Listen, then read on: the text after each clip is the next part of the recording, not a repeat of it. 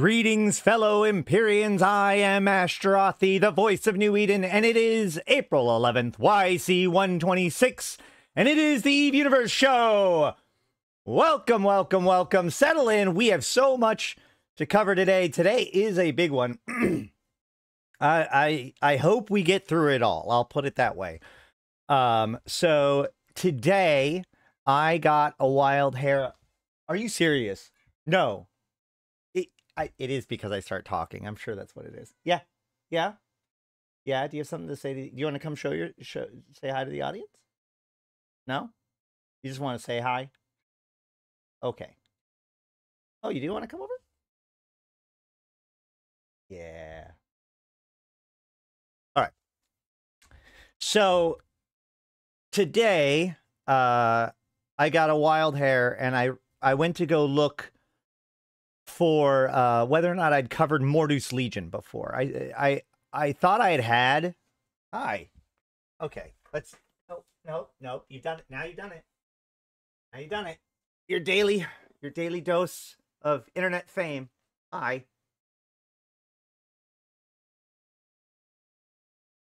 Yeah. You have a message for the people? No. Okay. The cat is reporting live from Jita 44. Yeah. So, um, yeah, I do want to cover all this. Uh, I found out I, I don't think I've ever covered it before or even looked into it as much. So I decided to go through the effort of pulling together everything I could find about Mordu's Legion today. And so I have pulled, uh, we have pulled together 97 or so tabs in my uh, Chrome browser. It it was it was so bad that Punch had to uh, teach me how to use browser tab groups, which I, I, up until that point had never thought about using before. And now I I I, I thank him for changing my my worldview. On, but uh, yeah. No, so I have them divided into four basic categories, um, or you know, different timelines. But before we dump into that, because once we go into that, we're just never going to see the light of day. I do want to um, cover a little bit of news. The big one being this structure right here. This is the um, the fob that is currently in. Oh boy, what system is this? Uh, Oyman. So the fob in Oyman is currently vulnerable. Now, I was uh Bayless's cat was the same way. As soon as the camera's on, you can see the cat wake up, get off his bed, and jump on the desk. Yeah, luckily mine doesn't uh jump on the desk. This one doesn't. So, but um, also I miss Hateless. Any rate, um, so I was corrected apparently that there has been a time in which the um angels were uh defeated by the counterinsurgents. Um, however, just due to the nature of things, the Angel Cartel has not lost since the update that made it so that they we had to get more and more systems every time we win. So, you know, right now the Angel Cartel have to capture 14 systems to uh the eating to the eating to um the counterinsurgencies 7. Um however, or and it's worth noting that hold on. But this time, the counterinsurgents have um, captured their seven systems, therefore completing their objective before the uh, angels were even able to complete their seven. So, um, like, even if this was the old school, school system, then the angels and Minmatar would have, sorry, the Amarr and Minmatar would have beaten the angels to seven. Now, the counterinsurgents have an additional step that they must do in order to um, you know complete the insurgency and win which is the destruction of the fob right uh, all the insurgents need to do is capture enough systems. The counterinsurgents need to, to capture enough systems and then assault the fob itself. The fob has two different fights. The first is its reinforcement timer, and the second is its final battle. I think is roughly within 24 hours of the reinforcement timer, uh, and that's how the counterinsurgents win. Now we covered a lot of this uh, yesterday, or sorry, Tuesday, including why I think this is happening. But um, it is true that at this point the fob is vulnerable, and if we look at it right now, we can see that the fob has a timer on it of seven hours, 38 minutes, and 34 seconds. And it is reinforced until April 12th at 143.51. Uh, and that's Eve time. Okay. So that's, uh, and so that would be, uh, well, I mean, in, in eight hours, basically, or in seven and a half hours from the timing of this, if you're watching this live. Uh, this structure will go back to being vulnerable and then it can be destroyed.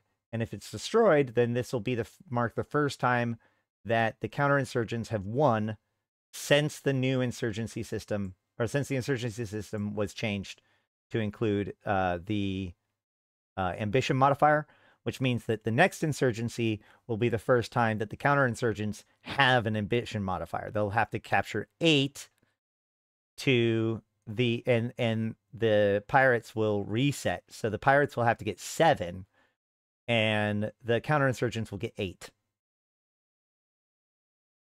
And then we'll see where it goes.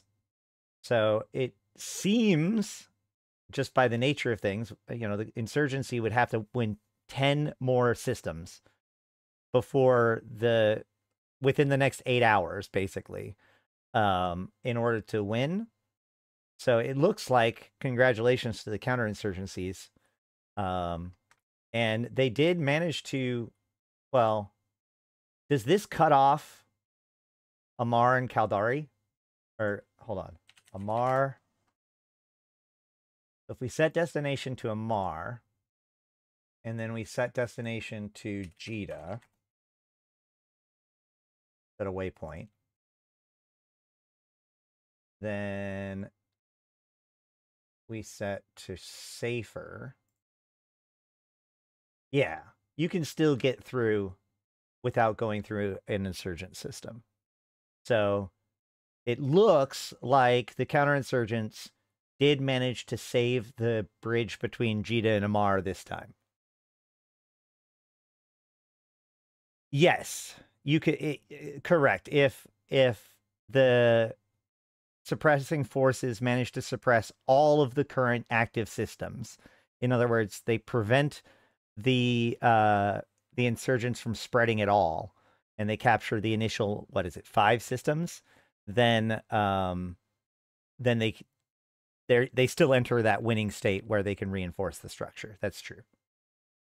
The uh, the the the insurgents do not have that um, benefit though they have to capture the right amount of systems because the act of the insurgents capturing systems spreads the insurgency. So they will always have at least seven systems to take. All right. So that's what's going on there.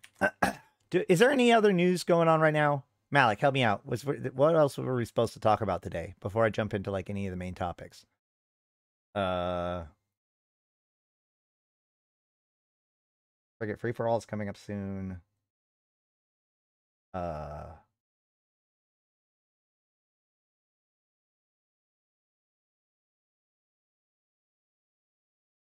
Now I can't think of anything.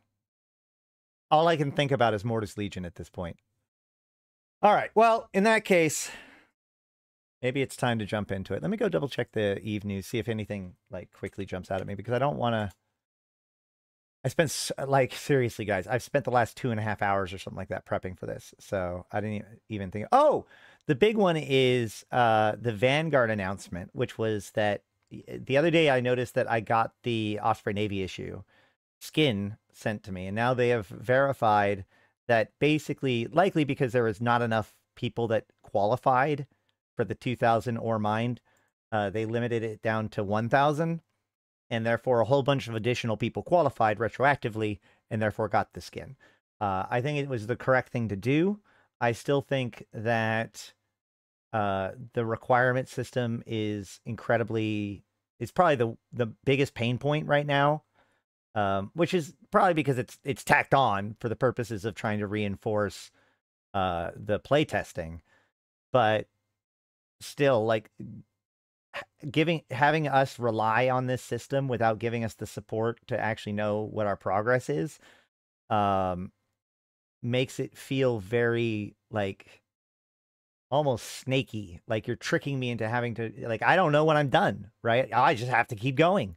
I never know if it's enough um especially with a requirement like 2000 so i know i put in the feedback that one of my most negative experiences with the playtest was in fact just the fact you know that that whole deal. Um i'm sure i wasn't the only one saying that. So uh hopefully this means that they're going to be dealing with stuff uh, better in the future lessons learned and all that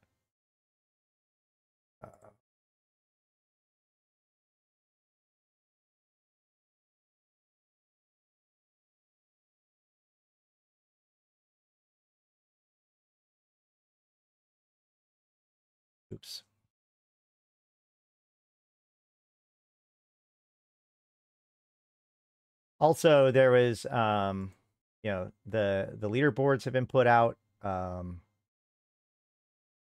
i probably know some of these people but I they, none of them jumping out at me.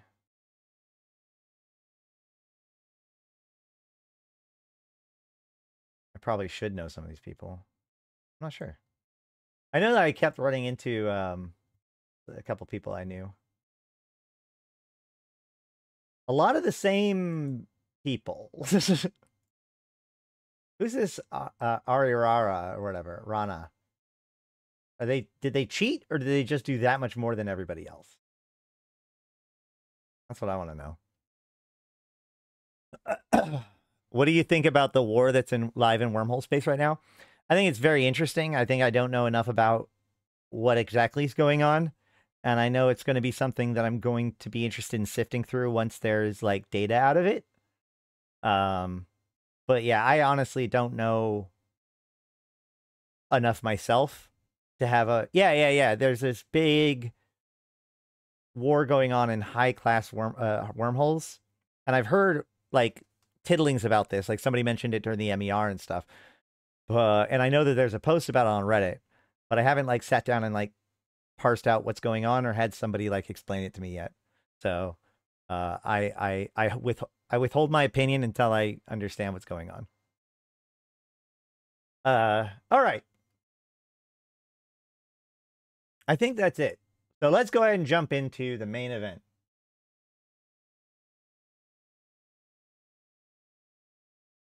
Today, I want to talk about Mordu's Legion and its founder, Muryia Mordu. So, we're going to go over a little bit about like the origins of the Mordu's Legion and whatnot. And then we're going to have a probably pretty long uh, recounting and walkthrough of basically the history of um, Eve Online since its launch, like the lore, because the Mordu's Legion has been around, present, and involved, at least tangentially, in a lot of the major conflicts in New Eden in the last 25 years or so. So um, I have a bunch, I have all of the, I've taken every news article that I could possibly find that mentions Mordu's Legion at all, and I put them all in chronicle, uh, chronological order along with some extra references that I'm going to use. And we're going to just walk through it all. I did omit a couple of things from there. For instance, uh, uh, members that were doing things that were just described as being former Mordu's Legion. I didn't really dig, I didn't go too far into it unless there is something that I could tie back to it.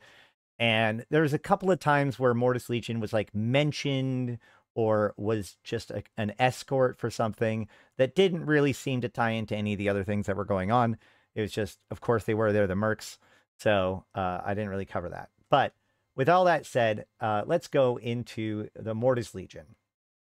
Mordu's, Mordu's Legion is a minor faction in New Eden and is formed by the military mastermind Muryia Mordu after the Wachi uprising.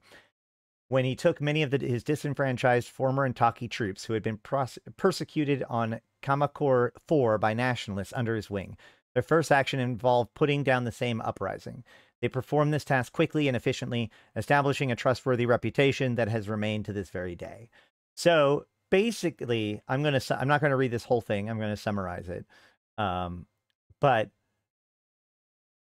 the more uh, so during the Caldari Gallente War, a lot of the Intaki were sympathetic to the Caldari's side of the fight, right? That uh, it was pretty clear that the Gallente were being kind of aggressive bullies even before the bombardment, you know, trying to impose their will upon Caldari uh, with their superior numbers within the Senate. And, you know, the Intaki are kind of, are also subject to the same uh, administration. So, you know, many of them thought that the Gallente were in the wrong. And so a lot of Intaki sided with the Gallente and the Caldari, as we looked at last week with the Intaki Syndicate, which they come back up. Uh, they, uh, you know, many of them were rounded up and banished, but some of them actually totally defected and joined uh, the Caldari military. Okay. So this group of Intaki loyal or Intaki natives that uh, defected to the Caldari were formed into a single unit, and it was placed under the command of Brigadier General Muryia Mordu. Okay, so then the war goes on. The war ends. At the end of the war, uh, which had lasted for almost a century, um, which remember this is towards the end of the war, right? So at the end of the war, uh, the Intaki that was part of this group, right? They can no longer go back to the Gallente. They've they've defected, so they're taken in by the Caldari, and they're granted a place in Washi City in Kamador Four. Uh, here's the problem with that: the Caldari. We talk about like how decadent the Gallente are, and how you know the the religious corruption of the Amarr but we don't quite talk about the xenophobia of the Caldari nearly as much. But um, you know, the the the the Caldari's one of the Caldari's major defining characteristics is their xenophobia. It's one of the things that protected them against Gallentean cultural influence because when Gallente started to try to influence the Caldari culture, they repelled from it because of their, you know, built-in distrust of other people. So, um, in this case, though, what it led to was uh, a lot of mistreatment by the Caldari against the Intaki people in this uh, area, in which which leads to, um, uh, let's see. Many were the subject of victimization and xenophobic attacks, incidents that began to go unchecked by local authorities as well.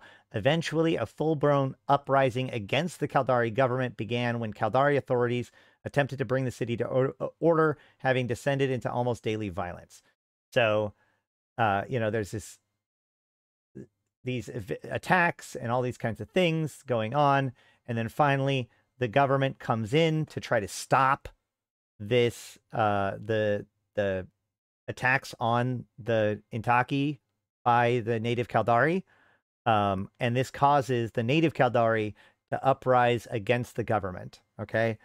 So then Muryia Mordu rounds up all of his sol- former, you know, his soldiers uh, that were part of his former group, pulls them together, and um, basically builds a, a new fighting force, mercenary group, and calls himself Mordu's Legion, and then steps in to help the Caldari in dismantling the uprising.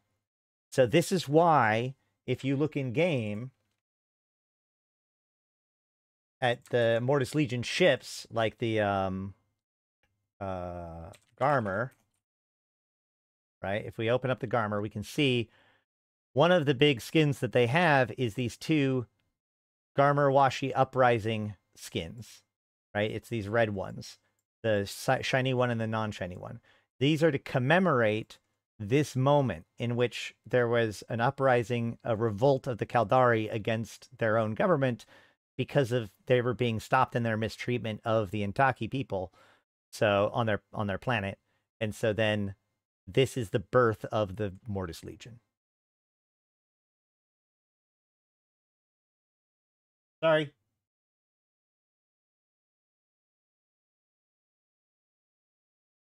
I hid the wrong thing. Uh this skin.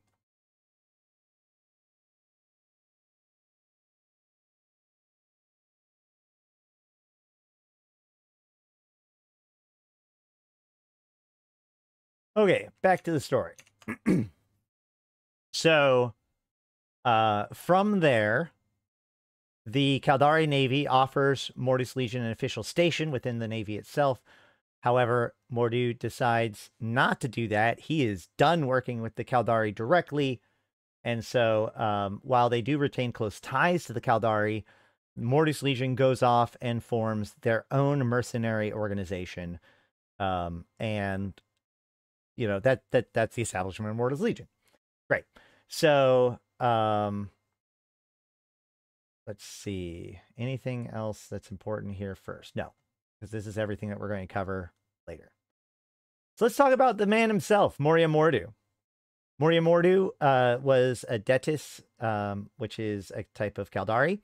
Um, on Hakonen 3, it was clear he was a very talented um, military tactician. Um, and he was promoted to um, brigadier general. Uh, he did planetary engagements throughout Verge, Vendor, and Placid. That was while he was captain. Uh, it was his efforts in Intaki and YC8 that began that he was to earn his mo- the most renown. So that's how late it was into the thing because like we're talking about after YC8 is after you know the Yulai conference. So theoretically speaking, the Gallente Caldari War is kind of winding down. Um, however, uh, so after several exchanges from the Woinki and Verret constellations, Verret is the constellation with, um, in fact, both of these are the constellations I think that were taken by the Gallente uh, during Uprising. So this is uh, the constellation that contains Intaki, right? That's not. Wait, hold on. Now I'm double. Now I'm second guessing myself. That's not the one with um, Athenoon, is it? Or yeah, it's the one with Intaki. Okay, good. Whew. Uh, the Condor under his command was attacked over Intaki 5. Mordu and the other crew had managed to survive the ship's destruction and their own subsequent descent to the planet were marooned on the surface. To Mordu's apparent displeasure, he was informed that due to increased enemy presence following the exchange, rescue was going to be denied until orbit could be secured. Preparing themselves for an extended stay, they managed to rendezvous with the soldiers that had been sent. They had been sent to extract. They had been set about trying to dig in, blend in, and secure passage off the planet themselves. After a deal sourced uh, with the local criminal contact, the men were sheltered by a sympathetic Intaki for a short time before the Caldari Navy came for them.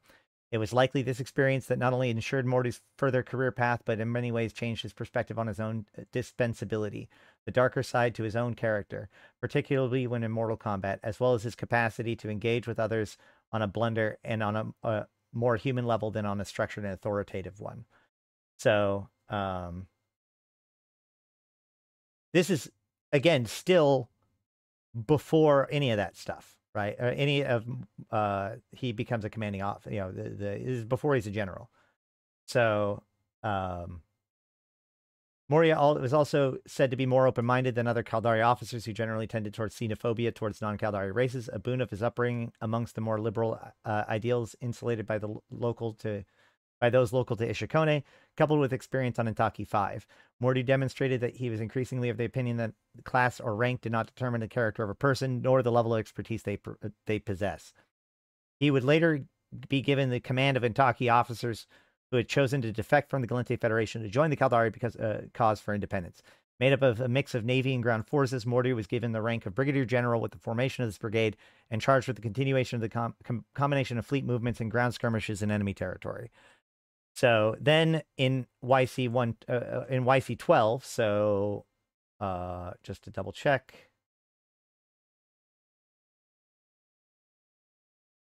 oh, where was it?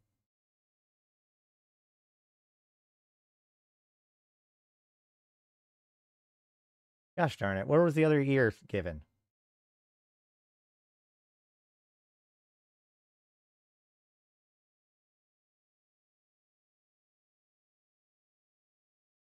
YC. YC eight. Got it. So he was he became a captain in YC eight. Um, and by YC twelve the conflict had ended. So he was he he was commanding this group for less than four years because this whole thing, including the extraction from Intaki, um yeah, the efforts in Intaki was in YC eight. So four years between this event and the end of the war.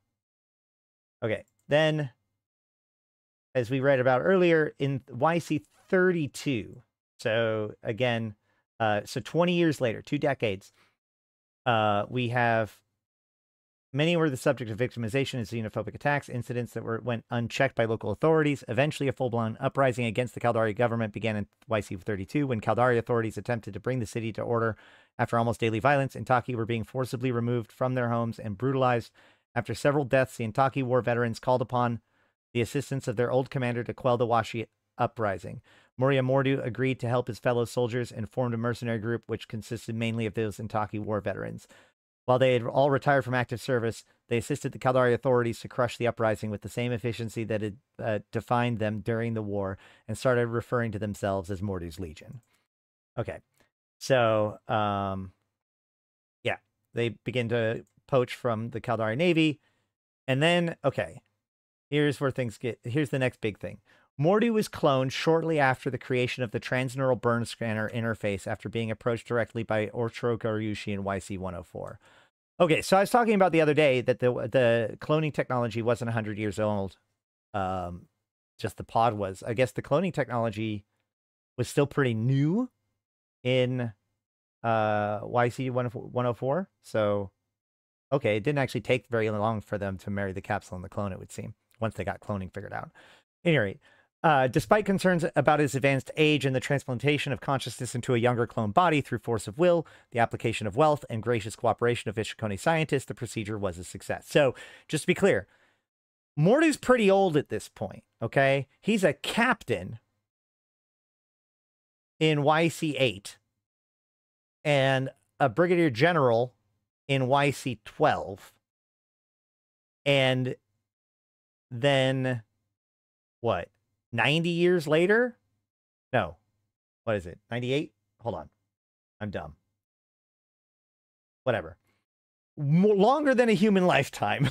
Uh later he gets cloned. So he's old old. So that's what they mean by the, by this. This isn't just like a uh, you know he's too young to learn to be a Jedi thing. You know this is his brain has begun to deteriorate, but we're still going to try to clone him thing. It has been noted that Mordu cloning resulted in increase increase in his eccentricity and per, peculiar brand of humor. Said to be connected to complications that arose as a result of his advanced age at the time. He has himself dismissed any concerns as to his behavior as a result of his new lease on life he has gained Always a man who believed in, in integrity and speaking one's mind, Muryia notably became even more expressive, occasionally offensively so. He also started wearing more garish attire, including a variety of hats. Allies in the Legion would attest that this would cover up his custom implants, which featured prominently along the sides of his scalp and began behind his ear. There are suggestions that his costumes was instead the clearest symptom of irregularities in his behavior, alongside the increasingly blacker, warped sense of humor and tendency to refer to conversations he'd had with those he had just he'd murdered, even long after their death. Mordu's cloning was ultimately justified as being an asset to the Caldari cause and chance to experiment with the cloning of a significantly older subject.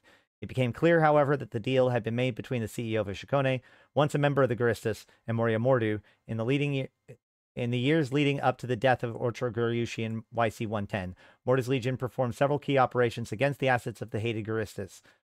Based on intelligence provided by Ishukone's CEO, these precision strikes were led by a much more youthful figure who the Legion still referred to as the Old Man.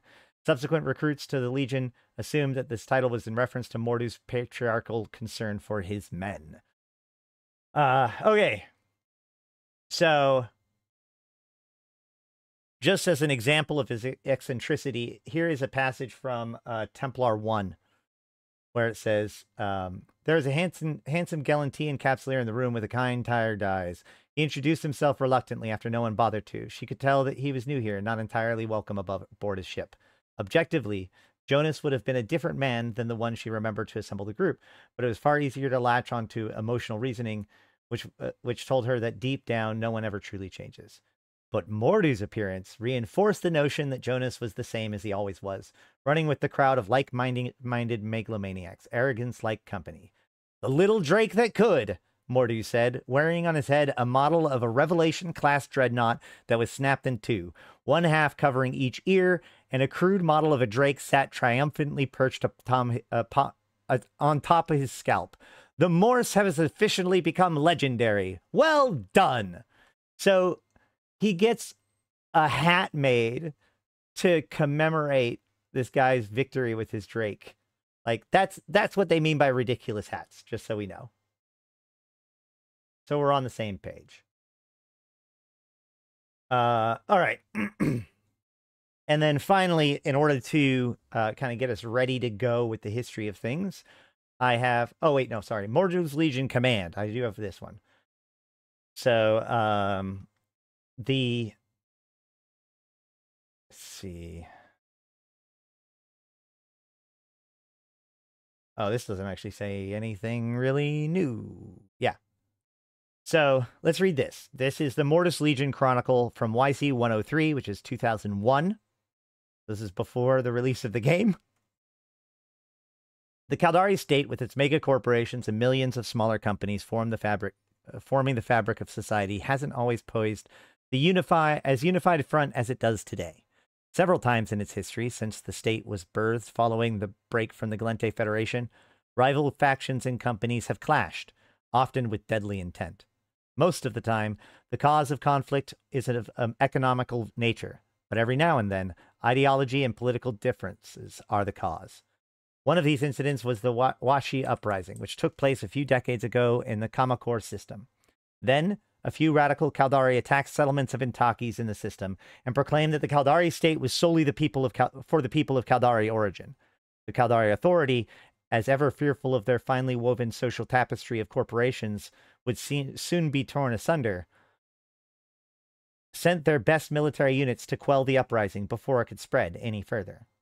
The Washi uprising did not leave any permanent marks on Caldari society. Still, it did leave one legacy that has carried on to this very day, and that is Mordu's Legion.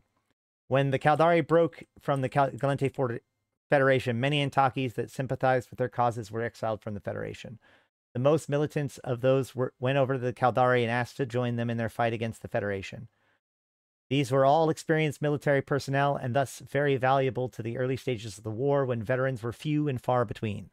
The Intakis were all but uh, all put into a separate squadron with a Caldari officer. His name was Muryia Mordu. Mordu was a brilliant young officer and one of the most more open-minded Caldari who generally are extremely xenophobic. He immediately took to the Intakis and they took uh, they to him, and together they formed one of the most revered fighting units in the Caldari Navy during the war with the Federation. After the war ended, the Intakis were offered cheap land and accommodation in Washi City on the planet of Kamokor 4. For a while, the Intakis lived peacefully, slowly becoming part of the Washi community. Yet the presence of the Intaki caused tension in the city, and slowly radicals, feeding on the xenophobic tendencies of the Caldari, gained strength. In the end, the radicals gained a majority in the city and began seriously harassing the Intaki.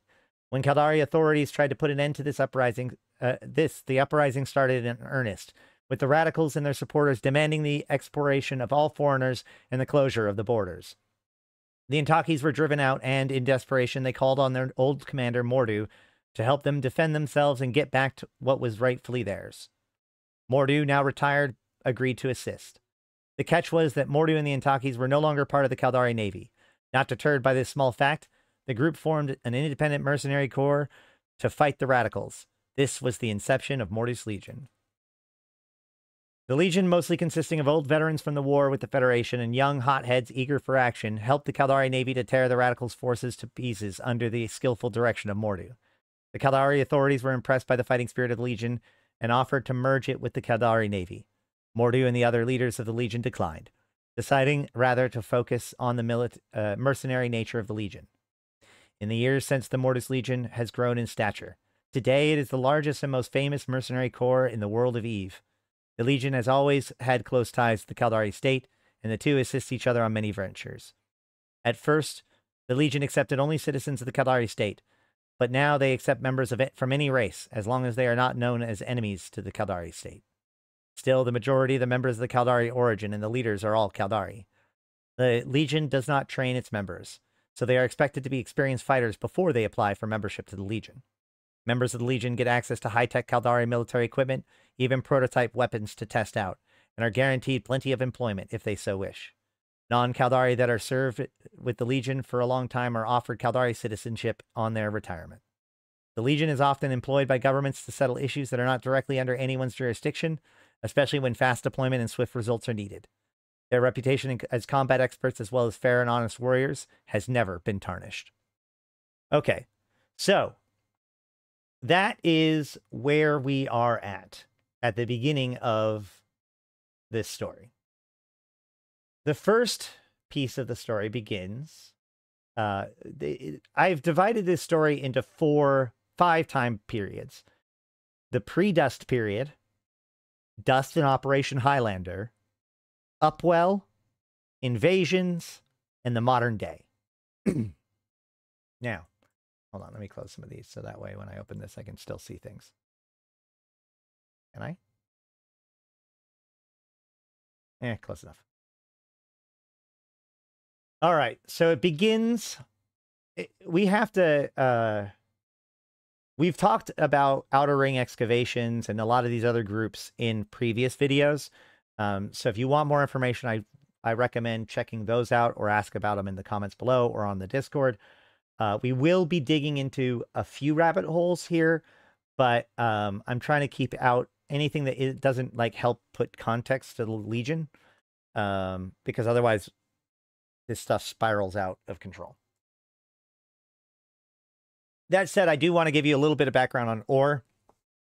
ORE uh, was, oh my god,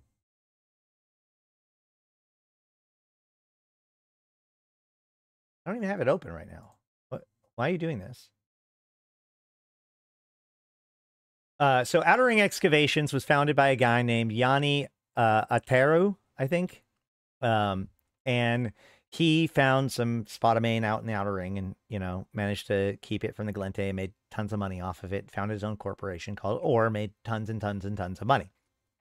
And during this time, he uh, started doing uh, basically hired Mordu's Legion to be their uh, security forces. Now, uh, after some time, shortly before YC 106, I think YC 105, maybe, um, the uh, Yanni stepped down as the CEO of ORE and handed it over to his partner and co-founder Orion Michelle. Um, that brings us to this story. Orion Michelle, the founder of Outer Rings Excavation Company, is known to, for his secluded nature. He never travels far, uh, travels outside of Fortress like home in the Heart constellation, and very rarely invites visitors. Thus, when he meets with someone, it is always a point of considerable interest for the press, and is now chewing over what Ma- Mashal's meeting with Muryia Mordu, leader of Mordu's Legion Mercenary Corps, means, especially in light of the Legion's Guard or proper, in light, in the light the Legion guards or property in the outer regions. The two met yesterday at Marshall's Mashal's spra- sprawling complex. The meeting lasted more than two hours, and Mordu left. He was visibly upset, but he declined to comment to the media, waiting outside and left in a hurry. Calls for Michel himself were not returned. Orion Michel founded ORE several decades ago when the private corporations were first taking the tentative steps outside of Empire space. His company grew rich trading in Nocxium, which back then was in heavy demand, ORE established itself in the Outer Ring region and surrounding areas, scouting out the system better than anyone before or since. The company is thought to know the location of fabulously wealthy asteroid fields deep in space, which they mine slowly so as to not flood the market. Michelle withdrew from the public eye some half a century ago and has since lived uh, almost as a hermit in the midst of the outer region. But he still manages to be well informed about the going ons inside of the com- cor- uh, outside world. And the few times he has stuck his neck out, it has always turned out to be a transitional period for his company, either to save it from looming threats or expand its already great fortune to even greater heights. Now we are left wondering what the meeting between Michelle and Mordu portrays. Is there some impending doom waiting to fall on ORE, or are we witnessing yet another chapter in its extraordinary success story? oh seven, Jeff. All right, so what are they up to? What are they up to? Uh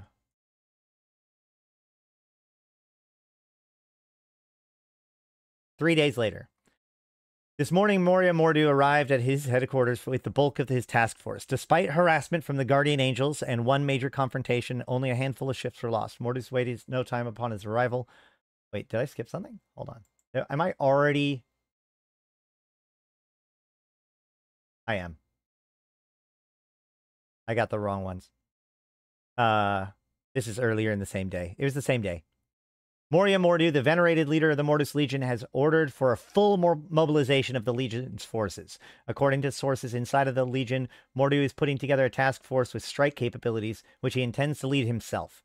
Legionaries everywhere are left uh, bewildered by this development, as no explanation has followed in the wake of this order. Pilots on leave has been recalled to duty, and ships in dry docks hurried back into service.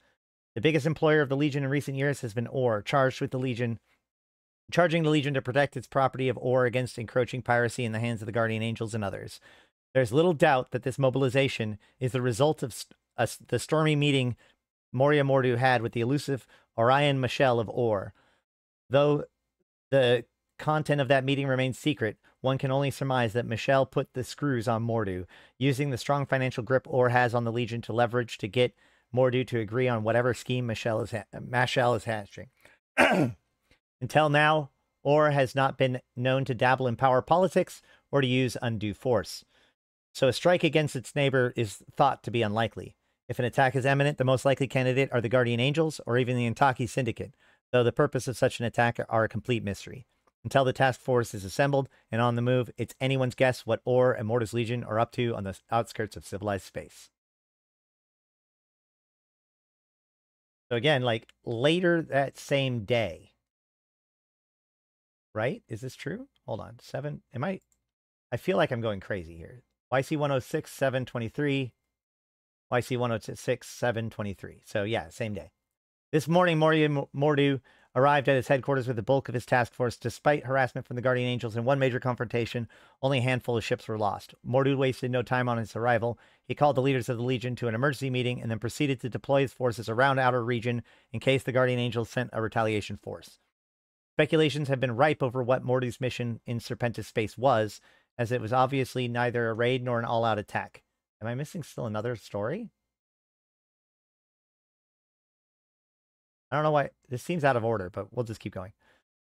Um, the strange device used by Mordu's flagship point to ore, being a company with deep pockets and steeped in secrecy, it has always been an easy scapegoat for conspiracy theorists when it comes to strange occurrences in the outer region, outer region area. Whether this was a reconnaissance or espionage mission of some sort, as the most popular conspiracy theories declare, it is impossible to tell at the moment. But anything that makes Orion, Michelle, and the usually conservative Muryia Mordu stick out their necks in such a fashion is surely nothing trivial in nature. Then, four days later, supposedly, a Mordu's Legion task force under the leadership of Mordu's, Muryia Mordu inf- himself infiltrated Serpentis space in the Fountain region yesterday and moved deep into its territory. The task force refrained from any. Yeah, I don't know why it's out of order. The task force refrained from any direct conflict with Guardian Angel ships or Serpentis ships. Instead, the task force headed straight for Serpentis Prime in the Phoenix constellation and approached the chemical refinery orbiting the second moon of Serpentis Prime 8. As the station readied its defenses, Mordu's task force halted and orbited the station at exactly 30 kilometer distance. Mordu then empower, employed an unknown device from his flagship, a device that radiated purple greenish light and pulsed like a quasar. The device was aimed at the Serpentis station for several minutes before disappearing again into Mordu's ship. The task force then prominently left and headed out of system before the pirates could muster a response team.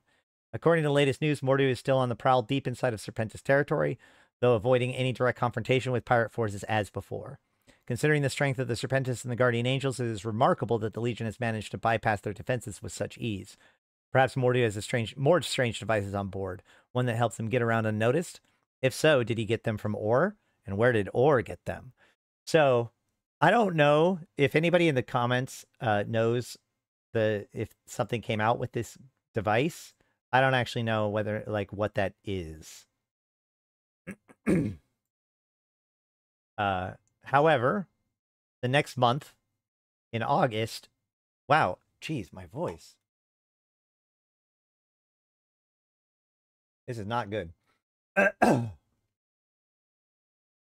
task force led by Muryia Mordu into Serpentis space was pinned down yesterday by Guardian Angels led forces led by Brian Jordola and Steely Shellen and forced into combat. The Guardian Angels have been trying to counter Mordu ever since the latter entered into the Fountain region, but he has always managed to slip out of their grasp just when they thought they had him.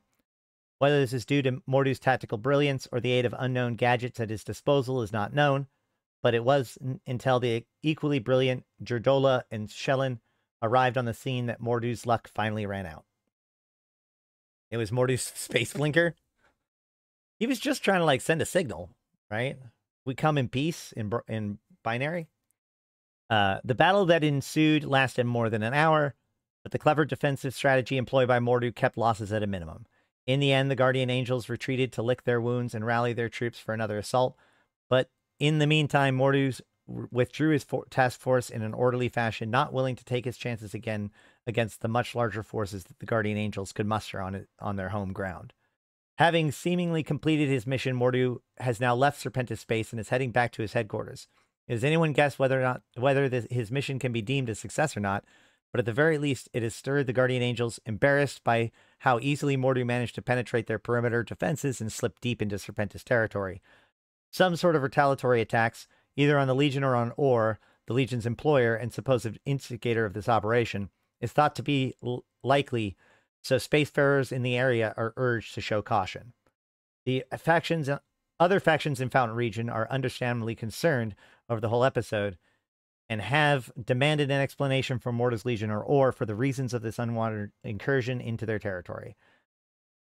Uh, Damaklas, uh, co-chairman of the uh, Fountain Alliance Council, said Mordu must explain his actions in person, otherwise the wrath of the FA would be felt.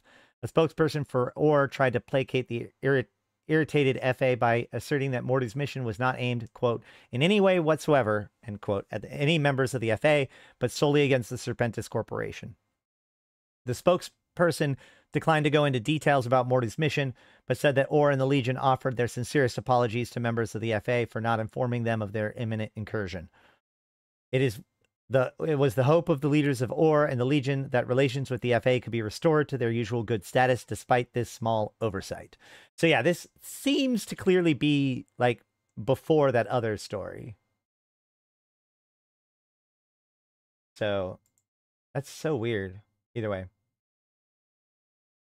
Uh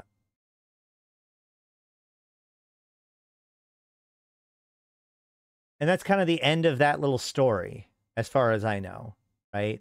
Um however what we see here is, you know, Mordu is used more or less against his will by uh the leader of ORE against Serpentis, right? Because ORE doesn't like the Serpentis. Muryia didn't like this, but was kind of coerced into doing it, it would seem. Um, and as a result of this, it kind of weakened ORE's position with the Serpent, uh, with the, um, with ORE. Hey, Jeff, thank you for that. Uh, the task force led by Muryia Mordu, this is in August, into Serpentis space was pinned down yesterday by Guardian Angels. Uh, wait, no, we just read that one. That's the one we just read. Yeah. So next, the ne- in the next year, right? So six months later, the ORE Syndicate the largest mining corporation in the galaxy, was in trouble earlier this week when an escort for a convoy of their industrial ships heading out of the Syndicate region failed to turn up. The Mordu's Legion fighters have a contractual agreement with Core with ORE to protect their industrial convoys from attacks by Serpentis and other pilots who frequently frequent the Syndicate region. According to ORE's spokesperson, this was the first time that they have not showed up at the appointed time. They are taking this breach of contract very seriously and are said to be inquiring as to the cause. Desperate for an escort uh, on the hazardous run, however, the industrious pilots took a leap of faith and recruited an escort from the pilots in the local commun- communication channel, most of wh- whom swore from supremacy, but most of whom were from Supremacy Corporation. Those are players. The fears of individual pilot, uh, sorry, the fears of the industrial pilots were well founded. However, in K5 TAC JRD, the convoy was attacked by a contingent of Serpentis pilots. The battle was over quickly. The forces of the convoy completely overwhelmed by the surprise Serpentis attack squad. There are no more attempts to, uh, made to attack the convoy after that. The convoy safely. Hold on. Oh yeah, the force. So the convoy's defenses, i.e., Supremacy Corporation, whoop the Serpentis. The convoy safely made it back to uh, Poiton and wasted no time in informing their superiors of the situation. Had it not been for the actions of these pilots, then the Serpentis Corporation would have been would have triumphed, placing a harsh blow into ORE Syndicate's operation. ORE has expressed their gratitude to escort pilots, praising their bravery in what was a highly unusual situation. So the reason why this is important is because it's showing, like Mordu has an impeccable record, right? Everything about them is about how great they are, how effective they are, and you know how dependable they are. And here, they don't show up. This kind of shows a, a, a, sign of the growing tension between uh, Mordu and hey, V Rod, thank you for that. On behalf of R2, thanks for that. V Rod Cruiser. Good to see you again. Uh, all right. So either way, by the way, guys, if you hear somebody that's like, man, I haven't, I, I wish Ash would start making videos again. There's a lot of people that haven't seen that I've started doing live videos again. So let them know. uh, the Mordu's Legion fighters. Okay. So, uh, sorry, like I said, this is showing a strain between Mordu's Legion and ORE. Mordu's Legion meets DCM on a, in a cloud of conspiracy theories. Pilots from all over Caldari State were unexpectedly called to arms earlier this week by security forces from Deep Core Mining Inc. The security forces sent the mini pilots they hired out to scout and secure solar systems surrounding the Para system, and more specifically, the DCM station immediately. The pilots were not made aware of what they were looking for, only to report, report back suspicious pirate activity. When they were given the reason for the mission, however, the reason for the lack of details became apparent. They were scouting out the systems, clearing all opposition to make way for a Mordu's convoy of unknown purpose. When the pilots found out who they were working for, the seeds of dissension began to spread. One pilot who wishes to remain nameless broke the wall of secrecy surrounding the, this operation to speak to me, saying, quote, he didn't trust the Mordus further than he could throw them. This is the second time that both the Legion and DCM have been discovered to be pulling off unusual activity in the last week. Several days ago, a Legion escort mission didn't show up to protect a convoy of Aura Industrials out of the Syndicate region, and DCM were embarrassed just a day before that particular incident when a trader who sold many delicacies, such as spiced wine and long limb rose, spoke out in public communications channel asking if the purchases were related. Embarrassed, the DCM representatives, who seemed to try to co- cover it up, Sources within Deep Core Mining claim that one executive has been fired over the incident, although we cannot get official confirmation at this point. Why DCM didn't use their own security forces for this operation is the subject of speculation. Some parties, mostly the pirate pilots hired, believe this is because DCM security forces could not hope to match the experience and firepower that the pilots themselves brought. Wilts, others believe that it's because DCM executives were trying to keep the the this operation as low cre- oh jeez this operation as low key, this operation low key. Whilst others believe it is because the DCM executives were trying to keep this operation low key and secretive, and amassing their forces would arouse suspicion. Certainly, the local DCM executives were adamant that information was not released to anyone. We do not have further information about the convoy, as all pilots were paid and dispersed. However, this event is becoming less likely to have a mundane reason by the second. All right. Then. Wait. Yeah.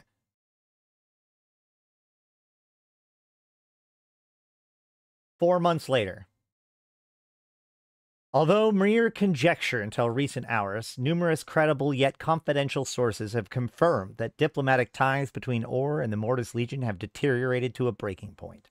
The relationship between the two powers over recent months have proven to be strained with a commonly held view that the sources of the friction has arisen from disputes between the two faction leaders.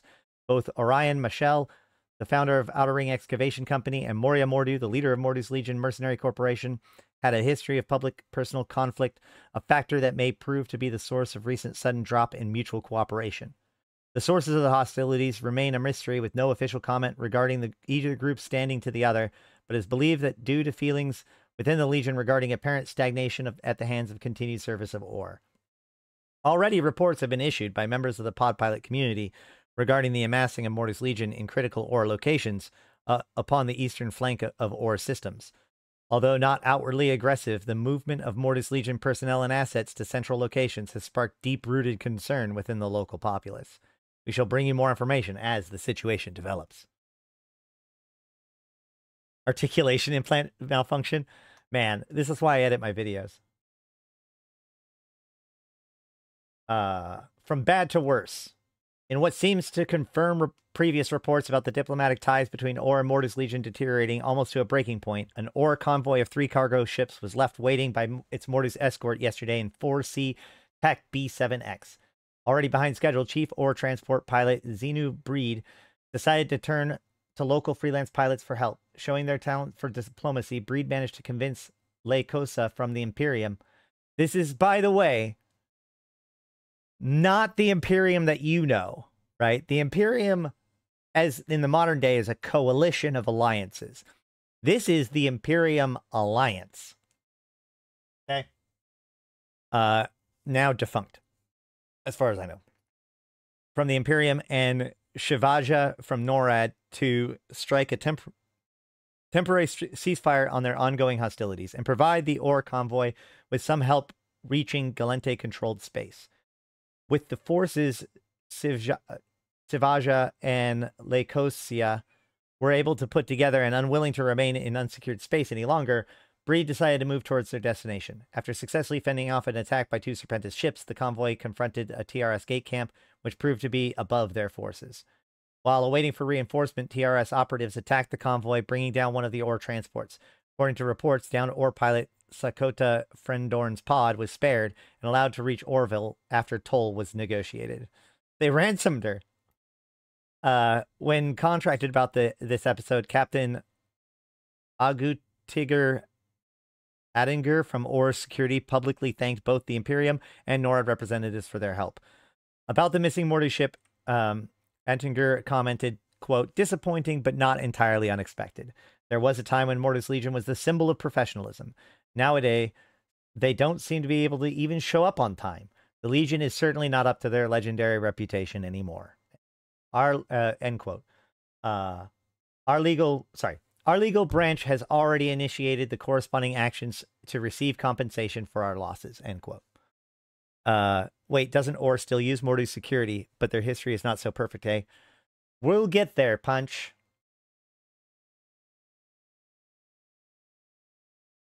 The ties between uh this is now five five days later. You are you're about seven years ahead i think. No more like 10 as ties between the ORE Syndicate and Mordu's Legion are at an all-time low. Remember, guys, I want to stress to you guys two things. First of all, most of this stuff is happening in game. These are just live events that just happen, very similar to the live events that are kind of just happening now in relationship to the lead up to the summer expansion. You know, the the convoys and everything that's going on. Actually, very there's a strange amount of echoes in this story, isn't there? But um, uh the other thing is is that it's worth noting that we are in 2005 okay You know, this is literally the second year of Eve. Like we this this game this story starts in the very first year of Eve's history. Okay, so to put this into perspective, like Eve, be, the plot of Eve Online begins with the deterioration of ORE and Mordu's Legion. As the ties between ORE Syndicate and Mordu's Legion are at, on an all-time low, the populace of the Pure-Blind region wonder about things to come. After only a few days in the region, it quickly becomes obvious that the presence of Mordu's Legion pilots has decreased. A good thing, some might say, but not according to local citizens I have spoken to. Although Mordu's Legion is considered a pirate faction by the empires, the people living close to them describe them as honorable, at times unpredictable pilots. Many fear that the withdrawal of Mordu's forces will lead to a destabilization in the area, leaving them prone to what they consider pirates. When asked about what the future of the Legion would look like, speculations range, range from regrouping at one of their core systems to the closing down of the unit. Yet other, yet others, although they seem to be a minority for now, fear that Orion Michel the founder of ORE, has enraged Mor- Muryia Mordu to such an extent that an assault on ORE assets might be on the verge. What remains for a fact is that Mordu's pilots are on the move, but where they are headed remains a mystery for now. Mordu's Legion hunts and kills Serpentis battleship. So this is about a month later. I wonder if they plan to turn Mordu into their own established faction to fight incursions. Uh, well, Upwell. Mordu is a member group of Upwell. That's the secret. Uh, Commander Jamma Mara Meyer, head of Mordu's Legion Security Division and 5Z XX Tech K, officially confirmed what was now only a rumor. Now was a rumor only. Serpentis operatives are being actively hunted by Morty's fortune forces in the Placid region. News arrived a few days ago about Serpentis battleships being destroyed in conjunction with freelance pod pilot forces, yet no Mordu's official has commented until today. A Serpentis Megathron was tackled, uh, tracked down to the Maklaminimod system by three man Morty squad under the command of Lieutenant Americ, Americ Round, confirmed Commander Mayer. Lieutenant Round offer, opted to, for a careful approach to the situation. Retreating to Orville, he managed to enroll six freelance pilots who were deemed more than enough at the task at hand. Upon returning to Maklaminimod, all stargates were secured as per the standard procedure and the system scanned. The available firepower easily disposed the hostile battleships as soon as it was found. Mayer refused to comment on the notorious decrease in Morty's pre- presence in the Outer Ring sector and or its effect on Serpentis activity in the region. No other Mordu official was available for comment. Another Mordu convoy attacked in Outer Ring. This is, yeah, a month later. Under attack from NORAD and the Imperium forces, a Mordu convoy managed to evacuate the 4C Tech B7X station last Thursday. A fleet comprised of somewhere between 18 to 20 Mordu ships and the additional cover of reportedly tw- nearly 20 freelance pilots traveling on a courier mission to the 4C Tech B7X system to retrieve Legion assets met a hostile combined forces of NORAD Imperium vessels. According to Mordu convoy leader Lieutenant Amerlik Round, operatives of the M- from MC, Kane, Karn, and Pix, PIXE provided cover while Legion ships docked, retrieved their cargo, and left the system. After regrouping in PF TAC 346, the majority of freelance pilots escorted the fleet safely to the Legion's headquarters in 5Z XX TAC K. The assets were reported as highly classified. We are not authorized, quote, we are not authorized knowledge of their nature, said convoy wingman Lieutenant Ome Hitmo. Hitimo. The reasons for NORAD and Imperium hostilities towards Mordu's vessels is not clear at this moment. Lieutenant Ron reported the attackers acted on grounds of supposed territory ownership, claiming that neutral vessels were not allowed to fly through the system. 4 CTEC B7X is under ORE sovereignty. As reported in early June, ORE Mordu's relation turned sour after Mordu's failed to show up to protect ORE transports and thus forcing ORE to request escorting assistance to NORAD Imperium forces in the area. Yet it is unknown if this episode is related to recent hostilities. Rumors have surfaced this week about Mordu's and ORE finishing their contract due to recent tensions, though there have been no official confirmation on this subject.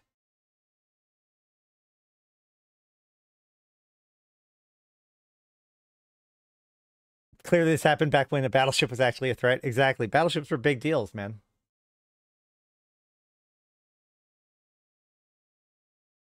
So by September, In an earlier broadcast from unknown source, data apparently taken from the highly guarded communication system of the Mordu's Legion has indicated a flurry of activity in the wake of last week's exodus from ORE space.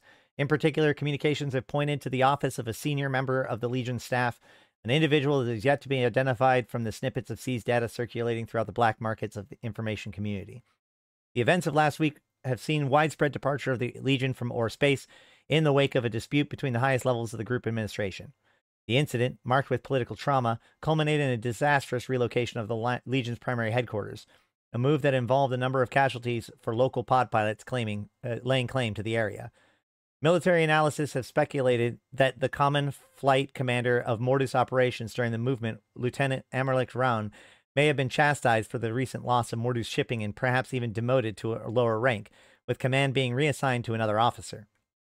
Recent localized activity by patrol forces around the Legion's primary station indicates a noticeable rise in the organization's operations, with a number of notable combat vessels being called from patrol duty.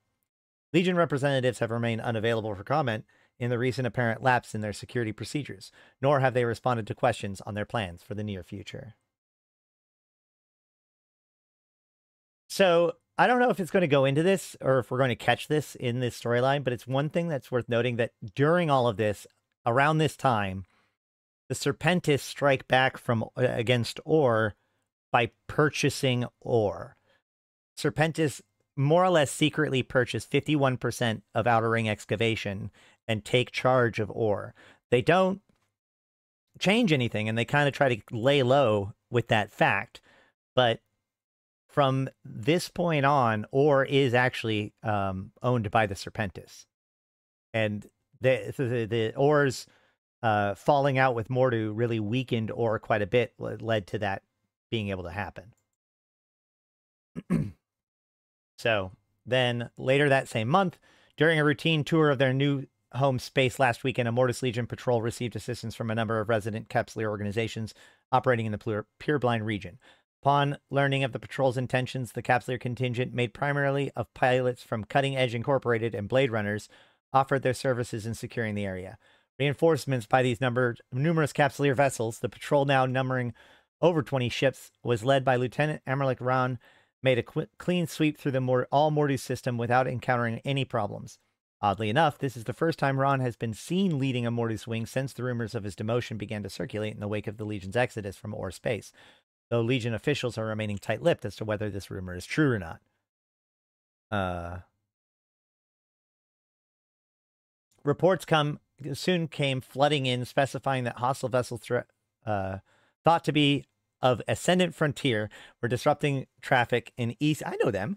EC Tech P8R solar system, a known pirate hotspot with vital trade route for northern fringes of space. The Legion patrol was quickly dispatched to investigate and disperse the hostile forces without any altercation.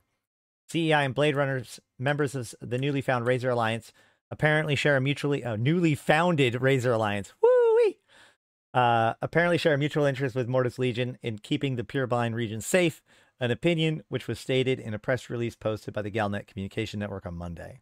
Speaking in the statement, Kilgord, CEO of Cutting Edge Incorporated, explained that both corporations had, quote, a long and distinguished history throughout the northern and western regions of Eve, end quote, and went on to say that Razor were, quote, active in securing the interests in free and open pureblind region with a strong anti-pirate stance, end quote. The Razor Alliance has seemed to have earned a new friend with their actions this weekend, with unconfirmed reports standing uh, that standings between Mordu's Legion and Razor Alliance has been adjusted to reflect this apparently amicable coexistence.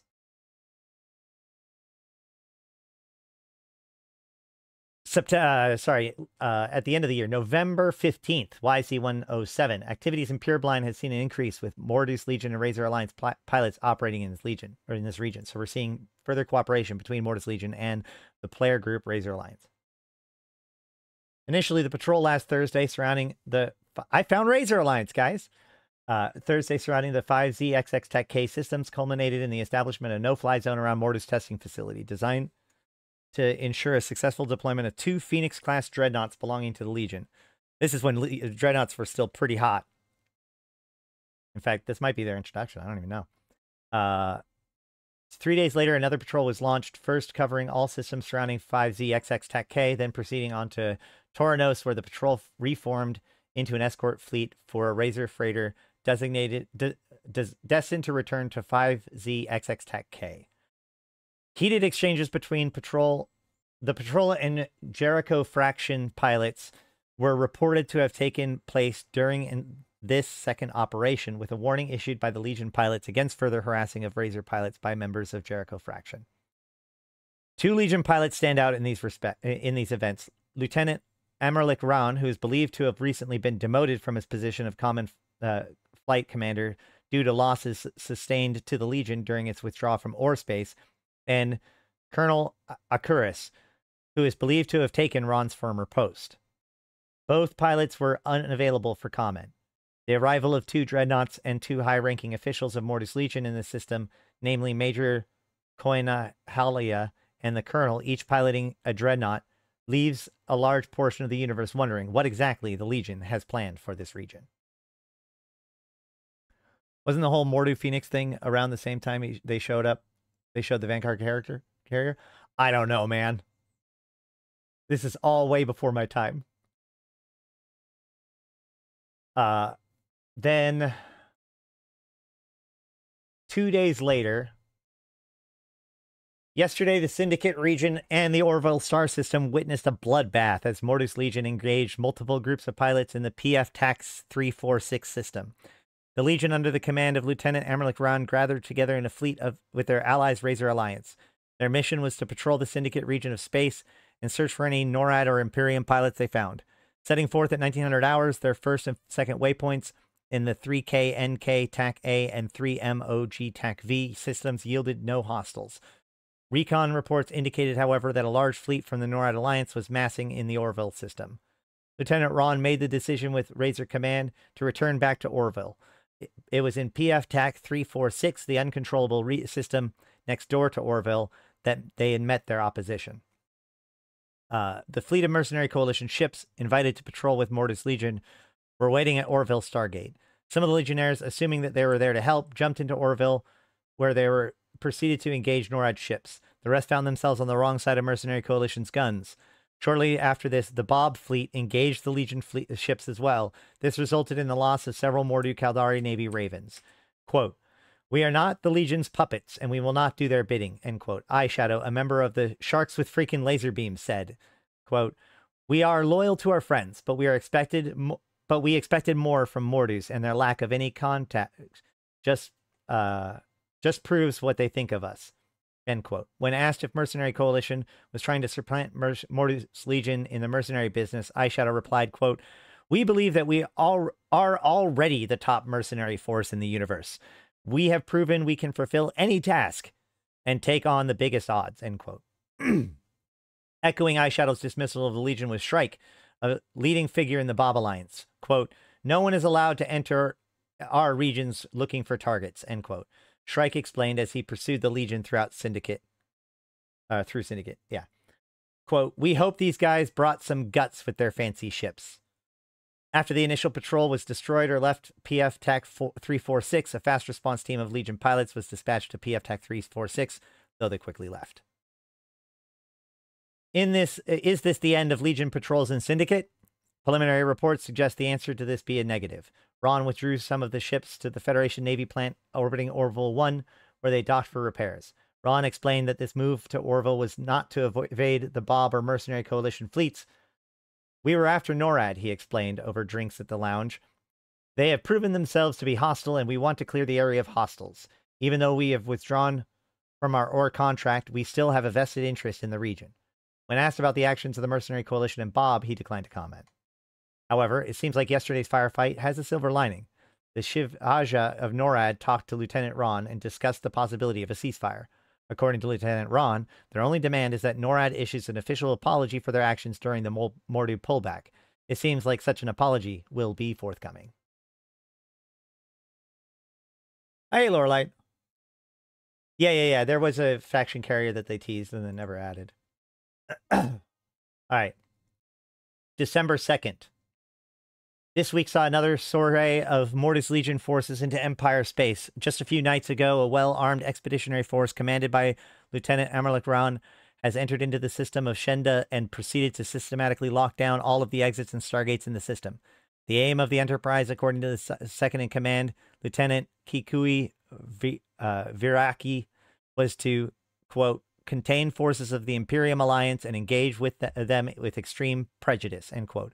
Apparently, Mordu's spies have kept a constant eye on Imperium pilots, and this was the best time to contain few high ranking Imperium officials in one system. The strife between Mordu's Legion and Imperium began with our as our readers will recall with after NORAD and Imperium vessels have attacked Mordu's convoys in C four SeaTac B7X, as well as the previous assault on Legion's interest in the Outer Ring system. As the fleet entered Shenda, Lieutenant Ron announced, quote, Mordu's Legion is here for the pilots of, from the Imperium Alliance. We have not forgotten your actions in the past, and you will be shot down on sight, end quote. At this point, Legion's forces proceeded to systematically lock down the solar system. The pilots from VOTF, including their CEO, Mr. Zertamov, was effectively camped in within their stations. The tension rose significantly as some previously neutral pod pilots called to Imperium, Vo- uh, VOTF, and Mr. Zertam Voif out uh, to come out and engage the Mordus. One of the pilots, MME, Saboteur of Blood Inquisition, uh, went as far as to actively engage the Legion and demanded that Imperium come to her aid. As Mordu's legions fr- tried to track down the saboteur's lone Rifter frigate, most of the Imperium contingent chose to remain within the confines of the station and avoid active conflict. Man, made you form, blue ball as old as time. Can you imagine a time where you got where you had to a a, a real life player alliance got blue balled uh, blue balled NPCs, an NPC faction uh force got blue balled by a bunch of pi- pilots that didn't want to fight him. That's funny. Uh, after about 40 minutes to an hour of dynamic scanning, Lieutenant Ron rel- relinquished the hostile intent towards MME Saboteur and commanded his forces to withdraw.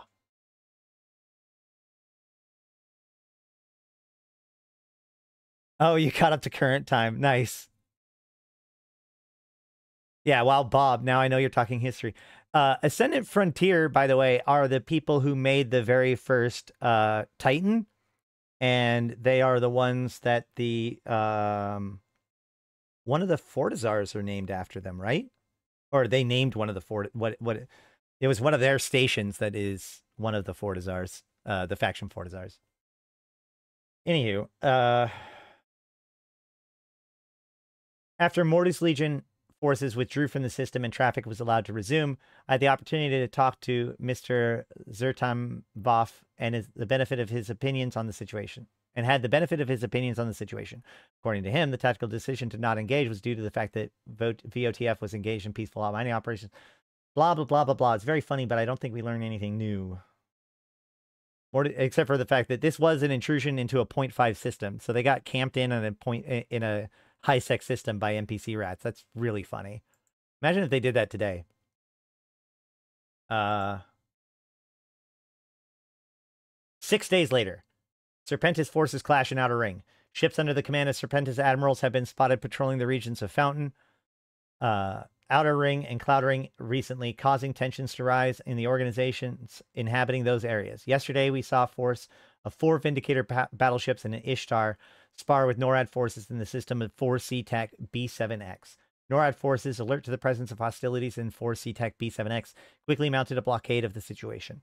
As Serpentis undocked, the NORAD patrol began to open fire on the ships, causing the Serpentis to retaliate. The resulting battle saw two NORAD ships, battleships go up in flame. Why does it have to do with the Mordu?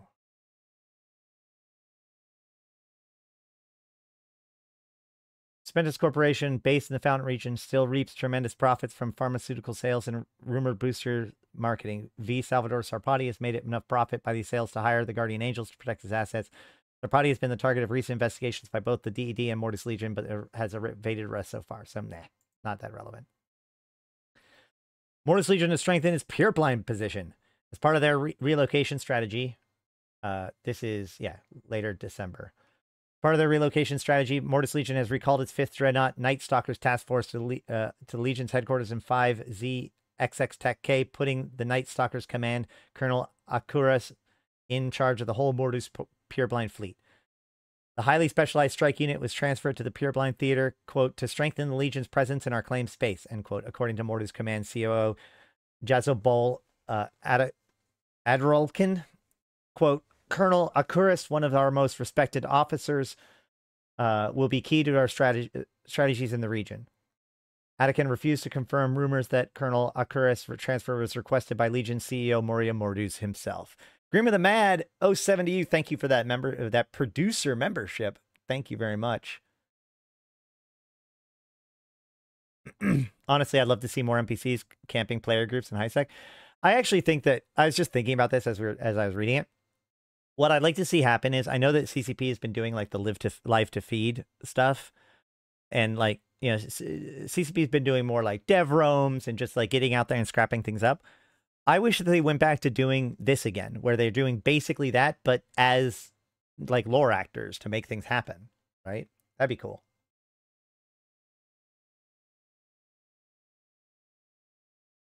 Um, I guess that's a good question for the day. Like, uh, would you be interested in uh, things like this kind of happening again, where, uh, like, the thing I that I stick out of this is alliances are naturally. It seems, according to these descriptions, these these uh, alliances in the early days of Eve were naturally aligning themselves for or against NPC factions in a way that you don't really see nowadays. Like you have faction warfare, but even that, like a lot of people that play faction warfare still see it as like a way to make money or a mechanic. The NPCs are background noise, you know? Um, whereas, you know, I think it has something to do with the fact that because these were happening consistently, they give things to kind of wrap ourselves, wrap our head around. So, in the same sort of way, in the modern day, I think that the closest thing that we have, uh, for better or worse, is fraternity's association with the angels and their attacks on um, Upwell um, convoys and such recently. Uh, but even that, I think, is just like a, a matter of situ- uh, circumstance. I just, yeah, I, I think it's kind of cool for it's like, oh yeah, you know, we're going to do a patrol of this region. Anybody who wants to come with us and do this roam with us, um, come do it. Right. That's really, I, I think that that would be a cool thing to, to do again. But getting like NPC actors to coordinate with alliances now, the other question is, is that like, I could definitely see NPC alliances, or sorry, uh, nullsec alliances cry foul if like being aligned with one of these factions is ever seen as any kind of advantage, even if it's just access to certain materials or whatever. Um, so eh, we'd have to see.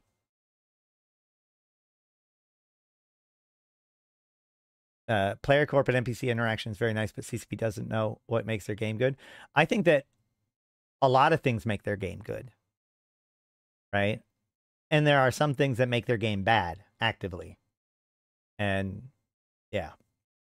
Any rate, uh, say it's a great honor to serve under one of the Legion's foremost warriors, said the a visibly moved Captain Ron during his acceptance speech. So he's apparently been re-promoted, right? He's back to being a captain. And this promotion is a reward to all of my men for our actions in Pure Blind in the Outer Ring. Say for Colonel occur and that's the thing is that like based on player actions ron was demoted and based on player actions and probably uh, in a, in a certain way he, he was like redeemed. Or she? I don't actually know. Him. He. Save for Colonel uh, Akuris and Captain Ron's speeches, the ceremony was held into the strictest silence with respect to the recent loss of Lieutenant Ome Hit- Hitimo, whose clone failed to activate after his craft was destroyed. Quote, as a man under my charge, said Captain Ron, I take my personal duty, it as my personal duty to avenge his departure from this world. He will not be forgotten. We shall not forgive. End quote. No comment was made as to the reason of Lieutenant Hitimo's clone failure though the Legion has confirmed that this matter is being investigated and terrorism was not discarded as a possibility. After the ceremony, Colonel uh, Akuris accepted a round of questions from the reporters present at the event. Fo- the following is the excerpts. Uh, you are credited as one of the most dedicated, decorated officers in the Legion, are you not? The Legion has seen fit to reward my tenacity or my tendency to find myself and my unit in the wrong place at the wrong time. Yes, I've been awarded the Legion Gold Cluster with a bar Legion silver cluster with a bar, and the Mordu's purple heart. My own heart belongs to Legion, and having my faction's medal on my chest is my proudest achievement. You have been with the Legion for a better part of a century. What prompted you to join this faction? I. My family owes a lifetime of debt to the Legion. My father fought alongside Mordu during the Gal- Gallente Caldari War, where he gave his life fighting for our home a few years before the war came to a halt. I was an infant at the time, and the Legion took care of our family, as is tradition with fallen Legionnaires. I was blood and honor bound to follow in my father's steps. I debt I have never regretted. The promotion of Lieutenant Ron, now Captain Ron, is a bit of a surprise after the Outer Ring incidents. It has been reported that he would be demoted. Could you expl- expand on this issue? I am somewhat confused by the belittling of Captain Ron. His services are nothing but exceptional. Ships get lost during combat, but if you recall, the losses were light, and each time the operation was a success, even when hap- heavily outnumbered. He has earned his promotion with, and his new p- position, and it is an honor to have him in command of one of the Night Stalker wings. This is the first time that the Legion officially admits the Night Stalkers to be a Dreadnought task force. How many such vessels does the Legion have, and how many would be deployed in the Pure Blind Theater? Smiles. Enough and enough. Next question. The Legion has on many occasions flown with Razor pilots patrolling Pure Blind. What is the purpose of some such combined squads? We patrol our systems and from time to time surrounding systems to deal with various pirates and terrorist threats. Some freelance pilots believe that they can do whatever they want in our systems. We will convince them otherwise. What is Mordu's general political position in Pure Blind, above all with Jericho Fraction, Razor's opponents in the region? Jericho Fraction conducts themselves with a don't shoot us, we won't shoot you policy that for the moment, inspi- wow. Can you imagine that? A, a, a, a, an identified NPSI or uh, uh, NRDS organization in the wild? Policy for the moment, in spite of a few cases of ver- verbal friction between pilots of JF and Mordu. They have not broken with us. We will soon learn how the interaction between our corporations develop. Suffice it to say that we have laws within our systems, and we are not we will not tolerate piracy in them, and we will not allow terrorist attacks to be staged from them. Yet, among the few cases of verbal friction, JF CEO Jade Constantine has challenged Lieutenant Veraki to a duel after Lieutenant Veraki publicly insulted Miss Constantine through FTL channels, FLT channels, probably FTL. I understand that the post-humanist view of Mr. C- uh, I eh, that in the post-humanist views of Miss Constantine, a battleship and the lives of thousands of crew members is a small price to pay for a slight verbal insult. But I would rather sort things out in a nice, quiet manner for the sake of our neighbors, the Sisters of Eve, as we have somewhat of a good relationship with them as of late. About the Legion's previous actions, is this is the 4C Tech B7X incident with the Imperium Alliance over? Imp went way beyond verbal friction, attacking and destroying Legion vessels, lives, and property. It will not go unpunished, period. Imperiums can expect raids against them on a regular basis until full public apology is received. Mining operations, trade routes, star bases, even their recruitment offices are, as of now, valid targets for the Night Stalkers. It is my hope that we will not have to cripple them back to their rookie ships, but we will make an example of them unless we receive adequate satisfaction. This was back when they were called rookie ships, not corvettes. The foremost pod pilot mercenary organizations, the Mercenary Coalition, has recently declared on Galnet that Mordu's Legion are a bunch of old timers. Any comments? Why, of course we are. Many of us were pod pilots while the likes of Miss Seleene were still in Naples. Mordu himself was fighting back in the day before the pod, when a pilot went down with his ship. In fact, we hold ourselves to such old timey mercenary codes as not blaming our clients for our failings. Ooh. Will we care to expand on your last comment? Never mind. Suffice to say, the Mercenary Coalition is a young, ambitious corporation with a, quite a few good pilots working hard to make a name for themselves in the big mercenary leagues. And young, ambitious blood is always good for our trade. We are, after all, professionals. Some recent communications with the coalition could have been better handled by both sides.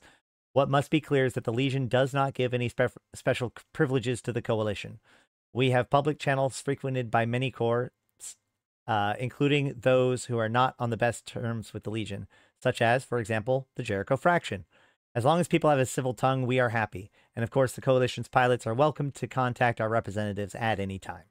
After all, perhaps old timers have a trick or two to teach, along with the occasional snippets of news about jobs going on. In general, where and working for who can we expect to see Mordu's Legion flying in the near future? Our finished contract with ORE was a bit unusual in the mercenary business as it was both public and exclusive, preventing the Legion from seeking other clients. I cannot comment on our present contracts, but we'll make sure that- the press knows when and if the Legion decides to announce such contracts in an official uh, fashion. Okay, and that brings us to YC 108.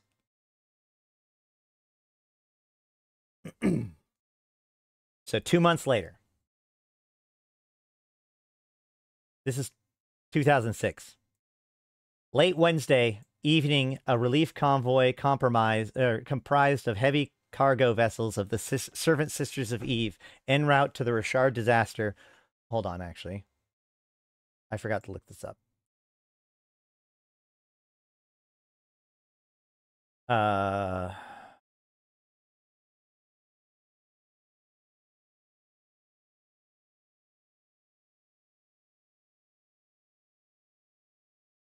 A prime example of this is a failure to, of the Federation in responding to the Richard V disaster. In YC 108, Richard V, a fairly small colony on the outskirts of Placid, was devastated by a supermassive explosion. Reports from the Sisters of Eve at the time suggested that nearly 90% of surface life, life was destroyed, a staggering amount of devastation that is nearly impossible to comprehend. Indeed, near, once relief convoys finally reached the system, only 2,000 survivors were found. It wasn't until much later, after a detailed analysis, that was determined that the equilibrium of mankind. Oh, yeah, got it. This is the Titan attack. Got it. So, late Wednesday evening, a relief convoy, blah, blah, we, we read that. Uh, no, we didn't. Late Wednesday evening, a relief convoy comprised of the heavy cargo vessels of the Servant Sister of Eve en route to the Richard disaster was destroyed by a power surge after surviving an attack by iron. Earlier that evening, another freighter had technical difficulties which prevented it from joining the transport, according to the sisters. The accident has claimed the lives of thousands of staff, the lives of life of one sister pilot, and leaves another sister unconscious. The freighter convoy, which departed from Toranos, was escorted by Sergeant Major Gian of and Sergeant General of Mort and Sergeant Janelle Gennel Gennel of Gordas Legion, Mordu's Legion, as well as assorted vessels from several corporations. Trouble struck the convoy when a fleet of Imperial Republic of the North iron vessels engaged the convoy escorts as they entered EC Tank P8R, a system well known for its frequent corporate battles and acts of piracy just beyond the patrol areas of the Directive Enforcement Department. A running battle ensues between the Iron forces inexplicably intent on seizing the convoy's equipment or simply destroying it outright, and Mordu's forces leading the escort. The fight con- continued for several systems before escorts were able to drive off the Iron Fleet, with the Mordu's Legion pilots taking credit for the destruction of four hostile ships, and the other escort pilots claiming numerous more. All remained quiet as the convoy traversed the last few systems in its route, and, dis- and despite the deliverance, under the command of Sister Reisendorf, suffering from an unusual warp drive malfunction, the convoy and its escort safely arrived to the Richard system. However, as the freighters began to enter warp towards Richard V, the scene of the planet-wide devastation was intended an intended recipient of the vast aid efforts. The final disastrous event took place. Just as Deliverance entered warp, Sergeant Major Gian detected a massive power surge within the cargo bay of the vessel. The Legion's vessel could do little but watch as the long-range scanners, with long-range scanners, the Deliverance exploded in mid-warp. The shock wave from the blast not only destroying the Angel, the second freighter commanded by the by Ipis Hungdang, and following closely in warp, but escape pods of both pilots as well. Sources within the Sisters of Eve have indicated that despite her cloning clone being activated, Sister Reisendorf remains in a coma in critical condition in the medical facilities. Ipis, however, was not so lucky. Interference from warp tunnel prevented the clone systems from functioning correctly, and as of such, the Sisters of Eve and the Gallente Federation has listed him as deceased. Shortly after the destruction of the convoy, a spokesman for the Sisters of Eve stated, quote, We have not given yet given up hope to the survivors of Richard 5 disaster, and we will attempt to provide as much assistance as we are able. However, the chances of finding and aiding survivors on the surface of the planet now grow fainter with every passing day. When questioned over both the overt and covert attacks on the convoy, the spokesman replied, We were, are horrified by these attacks on a peaceful humanitarian mission and disgusted that anyone could have considered such an act against both humanity and the sisters, a well noted neutral party in galactic affairs. The freighters were carrying medics, scientists, and other volunteers, as well as thousands of ISK worth of medical supplies. The losses in human lives lost uh, during the incident uh, accident and the losses that will follow from the delay of supplies will be staggering. With the Iron Alliance facing widespread condemnation for what several Gallente Federation senators have described as the most cruel and callous act of piracy seen in recent times, much attention has been diverted from the question of who sabotaged the freighters, of uh, from, yeah, of just who sabotaged the freighters. A backup plan ex- executed by Iron after the failure of their fleet, or a strike from an unseen or as yet unknown enemy. No matter who is responsible for this vile act, the Sisters of Eve, quote, vows that those behind the attacks on the Sisters of Eve will be made to pay.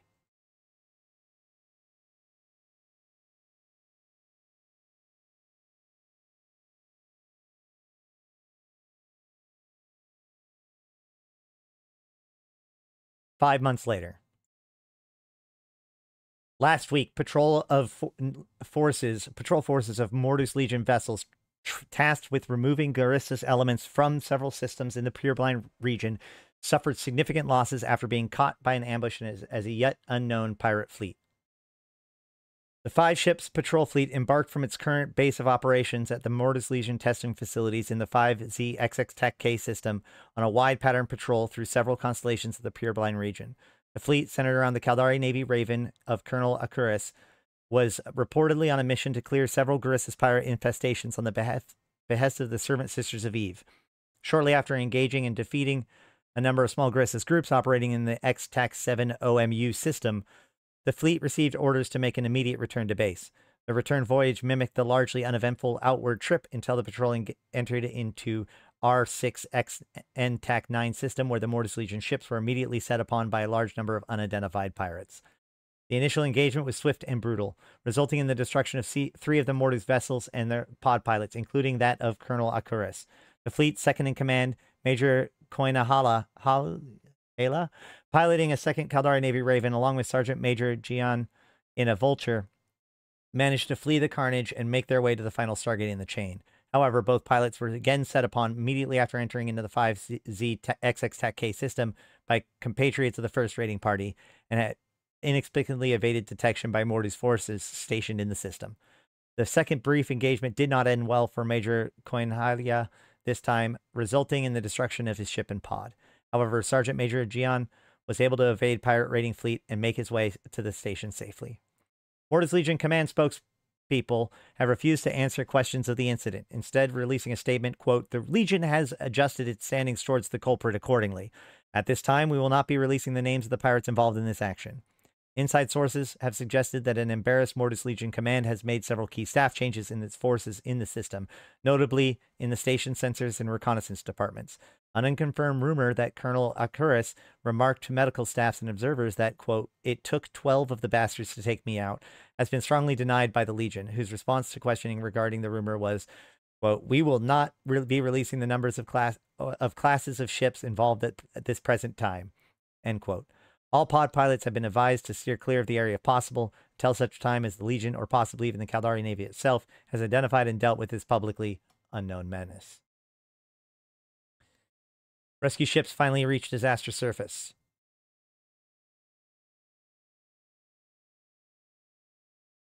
Oh, yeah. Wait. Yeah. Wow. So this is like seven months later. Last Wednesday, a convoy of rescue ships finally landed on the surface of the planet of Rochard 5, seven months after the planet was reduced to an uninhabitable wreck as uh, by an yet, as of yet unexplained disaster. The convoy of rescue ships under the uh, aegis of si- Servant Sisters were able finally able to land on the surface of the planet during the first lull of planet-wide megastorms since the incident occurred. Despite the scale of the destruction and the significant period of time in which the entire surface of the planet had been incapable of supporting life and almost completely devoid of infrastructure, the search and rescue parties received quite a shock. Amongst the ruins and caves dotting the surface uh, landscape, the teams found and rescued well over 2,000 survivors from the disaster. Suffering from malnutrition and disease, and with rumors of cannibalism filtering through the fleet, they were quickly evacuated to medical vessels in orbit before being moved to an undisclosed location where their physical and mental states can be assessed and treated. Representatives from the sisters quickly announced that to the media that there were no evidence of cannibalism in any of the survivor sites, and that search and survey missions of the planets will continue until it's no longer safe to do so to remain on the surface. In related news, investigators from Mordu's Legion and Concord have confirmed that the disaster was not of natural origin. Releasing small sections of the compiled data to the public, the investigation teams announced that scans of the system shortly before an, the event occurred indicated the presence of an Avatar class vessel, an Amarr Empire tit- uh, designated Titan in low orbit over the planet. This was further confirmed by scans conducted in the days after the event, which detected an energy signature on and around the planet consistent with the doomsday device known as Judgment. According to experts, this weapon, normally used to annihilate, annihilate entire fleets, is quite capable of causing this level, the level of destruction seen across the entire planet of Richard 5. This is back when doomsdays were AoE devices. This was where the good news from the investigators ended, as according to all available data, the Avatar immediately jumped out of the system after the weapon had been fired. However, due to simultaneous activation of over two dozen cynosural fields across the galaxy, they were able to unable to track the vessel's course, and beyond that, all contact with the vessel was lost.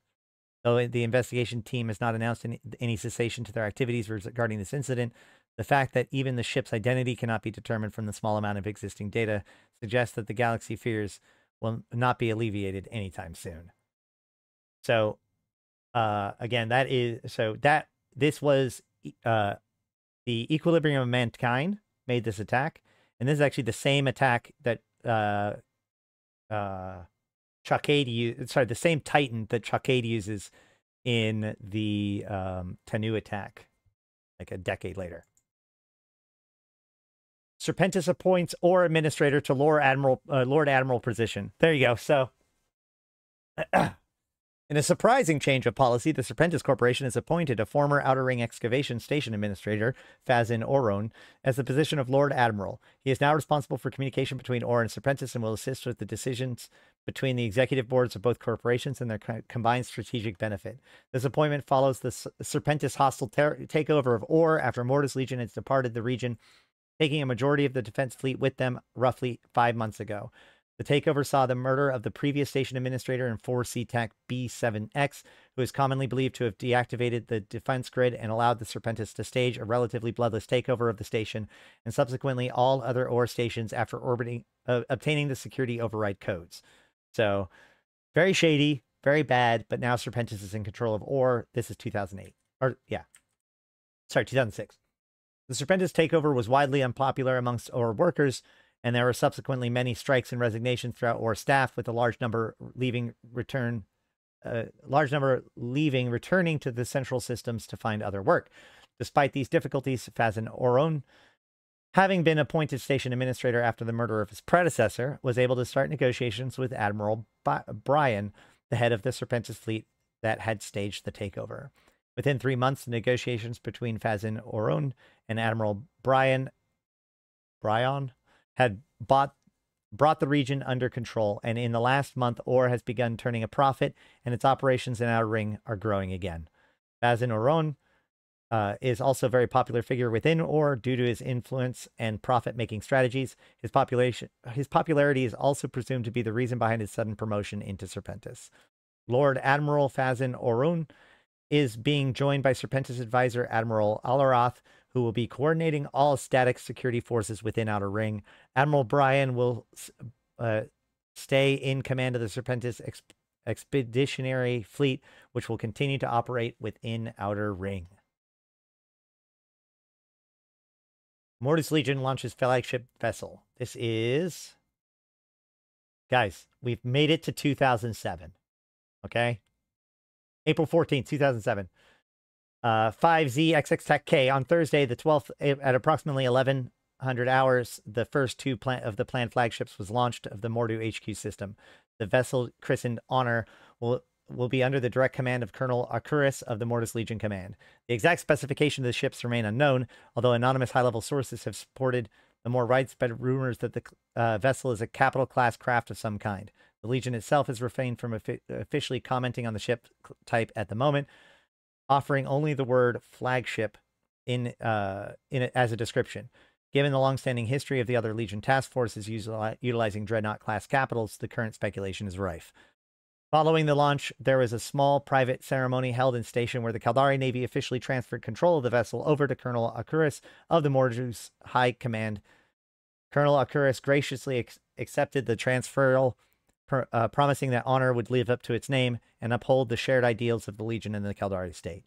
When asked in a brief uh, interview about the tasks honor will be expected to undertake, the commander replied, quote, she is just the first step in a plan build up of forces to reinforce our position in Pure Blind region.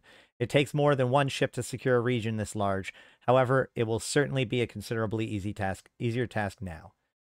Uh, commending, commentating on the plans for a possible second flagship vessel, the commander was less forthcoming, hinting that so far only a name existed. Quote, as with most plans of this nature, there's a large investment of time and other resources involved. Hopefully, one day Glory will fly next to her sister, allowing the Mordu's Legion a greater range of tactical options that can be chose to employ in the future.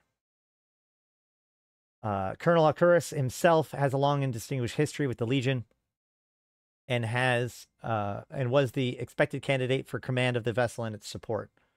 The son of an officer who fought alongside Mordu during the Caldari Gallente War, he has followed his in his father's footsteps, earning the Legion's gold cluster with Bar, Legion's Purple Heart, and various other accolades. His loyalty to the Legion is almost renowned, almost as renowned as his success in establishing the Legion since its relocation, a mystery he was a, a mission he was personally tasked with overseeing. The Legion has slowly been consolidating their position in Pure Blind ever since the rearrangement of forces primarily in the area over a year ago, a move that followed the high-profile end to their contract with Outer Ring Excavations. Since that time, they, were, they have launched squads of increasing capability and strength, such as the Night Stalkers, the Fifth Dreadnought Task Force dispatched since the uh, the Fifth Dreadnought Task Force dispatched since the repos- repositioning. According to sources within Legion High Command, Honor will be undergoing tests runs at the Legion testing facilities in Pure Blind region and is scheduled for tactical deployment within the next few weeks. Uh, Khanid Kingdom stand. So this is this is where things start to pick up because we're like we don't get a lot of follow-ups. I couldn't find a lot of stuff to fit in the gaps here. So in 2008, so the uh, like over a year later, Khanid Kingdom stands down Navy. Mordu follows suit. Khanid Prime, following the withdrawal of the. Oh, this is literally. So this is Empyrean Age, right? The Elder attack. Uh, the Elder attack fleet. Um. Well, yeah.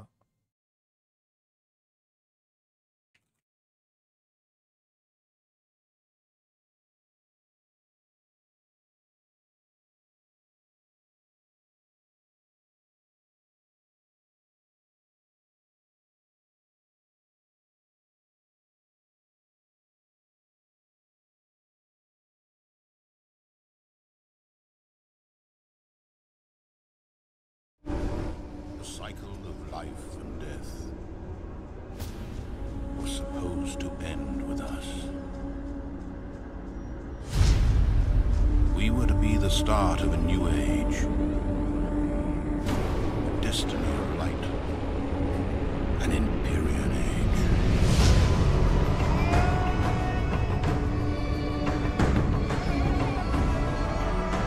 Yet these tombs call out to us. The heroes and villains vanquished within cry out at once, begging for justice.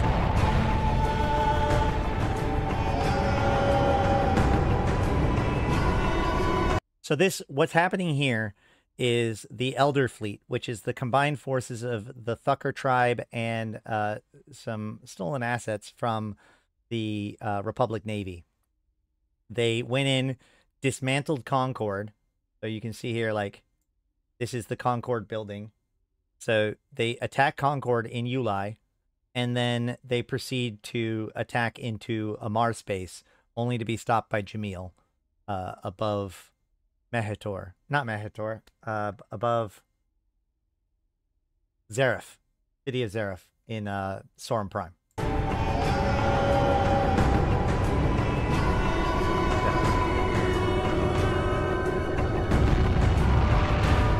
fight for what we believe in. We will take a side, and our wrath will be furious.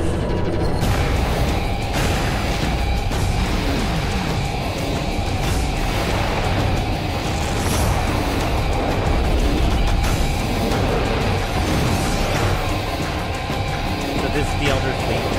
That's Jamyl Sarum arriving that's Jamyl using her super weapon. Destroy the entire Elder Well, dismantle Welcome the Elder Fleet, then continue to the to shoot Empyrean them. Age. Yeah, and this is actually where the term Empyrean comes from, because um, during the beginning of the events of the Empyrean Age, um, oh God, what's his name? The Minmatar guy, the spokesman, um, starts with K. He's shown up more recently. Gosh, I can't remember his name, but he uh, he calls uh, the Capsuleers the Empyreans of our age who will guide us to the future. You know, uh, Empyreans is like a, an angel. You know, Empyrean is the highest heaven. Uh, no, not Malachi Shakur. The other guy is uh, the this the guy who always has banter with um. Every name has just fallen out of my brain. Like everybody's name has fallen out of my name. No, Shakur's the blind guy. Oh gosh, hold on.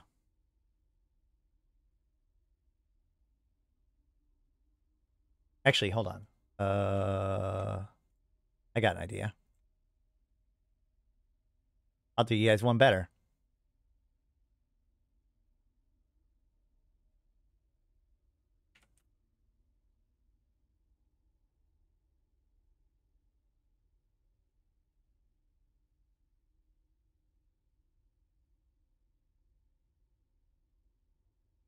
So this is where the na- word comes from. uh, so this is a um, Genesis region, Sanctum constellation, the Yulai system, Planet Nine, Concord Bureau Station. Um, so this is just before what we the video that we just saw.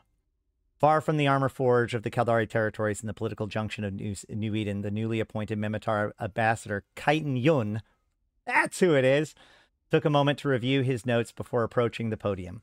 The Concord Assembly, long a bastion of international diplomacy, blah, blah, blah, blah, blah, blah, blah. Behind the, each ambassador was thousands of seats. You get the idea. Um, session will now commence, announced the Concord session moderator. Ambassador Yun, you may begin your introductory address before we proceed with the day's agenda. Congratulations on your appointment.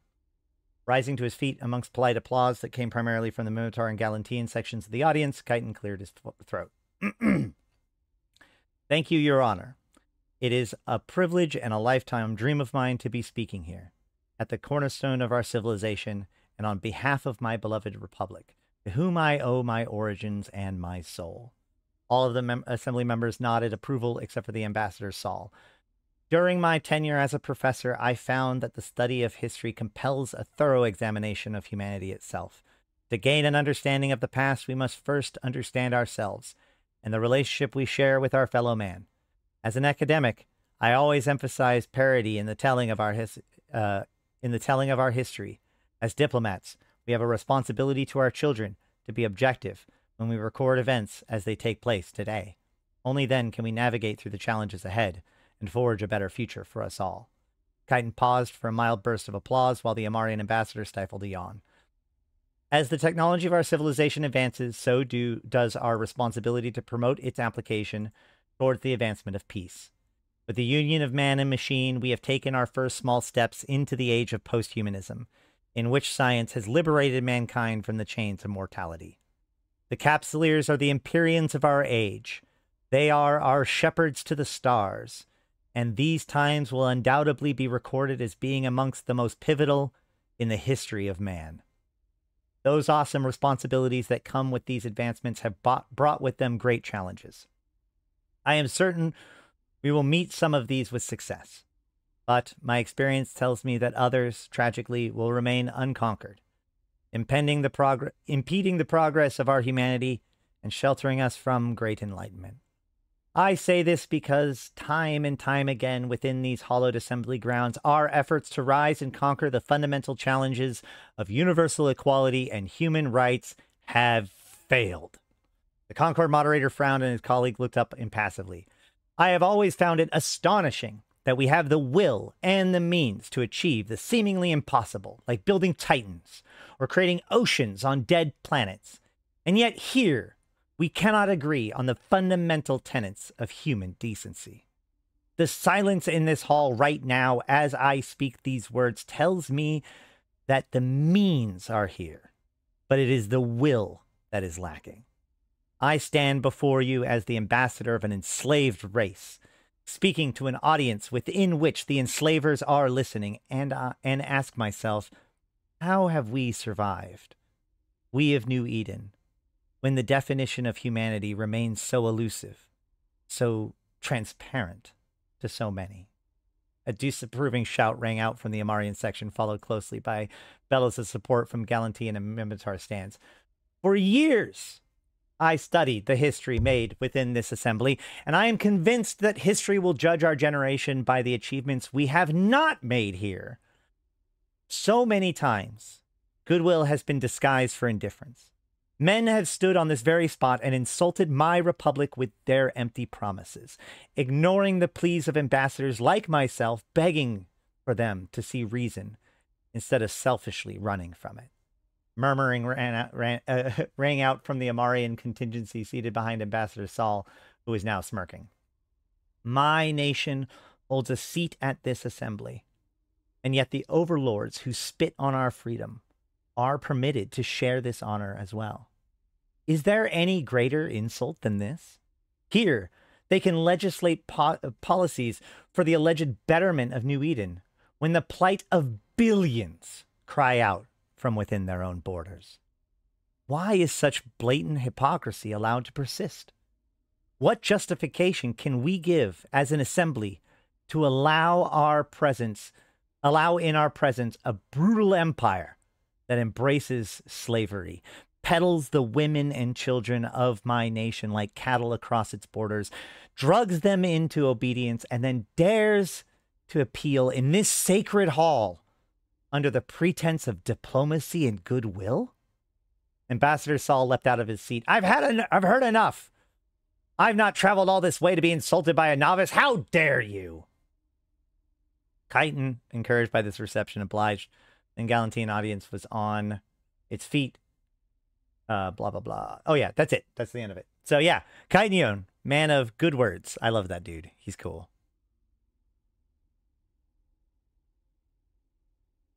Yes, this is from the Empyrean Age. Hey, sheesh. Okay. Moving right along. Where were we? It's Empyrean Age.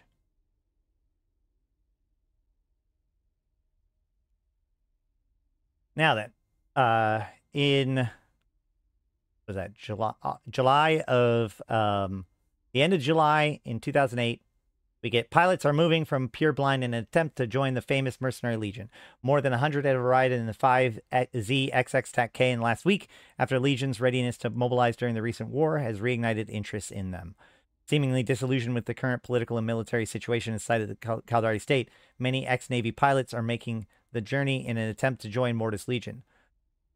Urle Hakilin, a former Navy Kestrel pilot, was one of the prospective recruits. He cites his personal reasons for attempting to join. Quote, I have trained all my life to defend the state, to defend the weight of the life of our citizens. I look forward to flying in the combat, but letting the militia do the work while we sit on our hands isn't my idea of fun.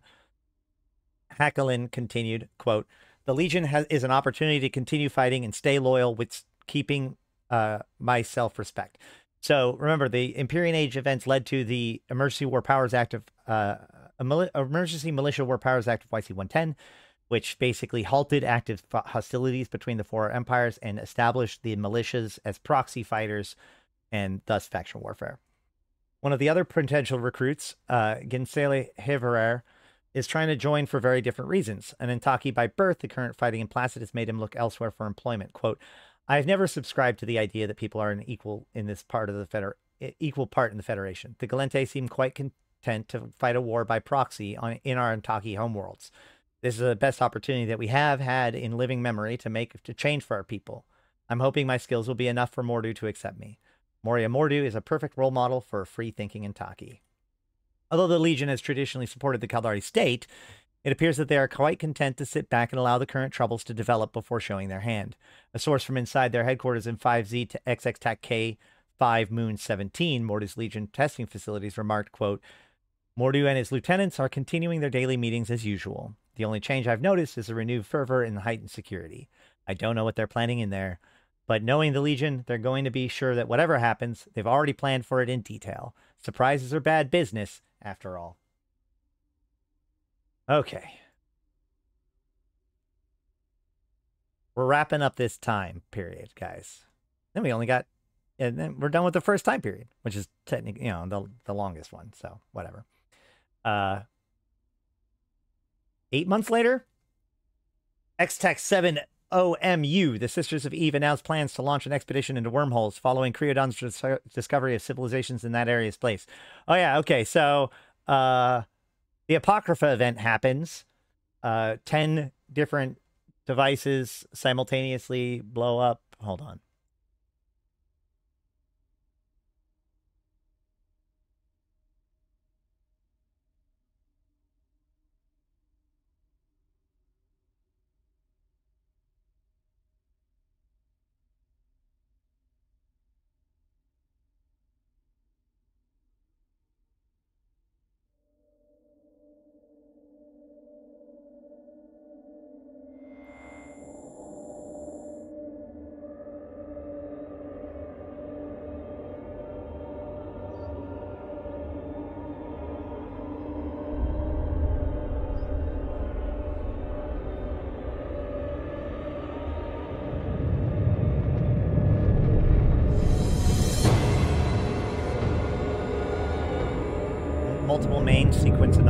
Detected. So, 10 different caches of Isogen 10 was detonated simultaneously, causing a chain reaction in their local star, causing a giant burst of energy. And something about this event triggered the form, the creation of wormholes, um, randomized temporary topological point defects that lead between different areas of space, including previously unknown regions of space that is now known as J space, sleeper space, or wormhole space, or K or W space, or Anoikis.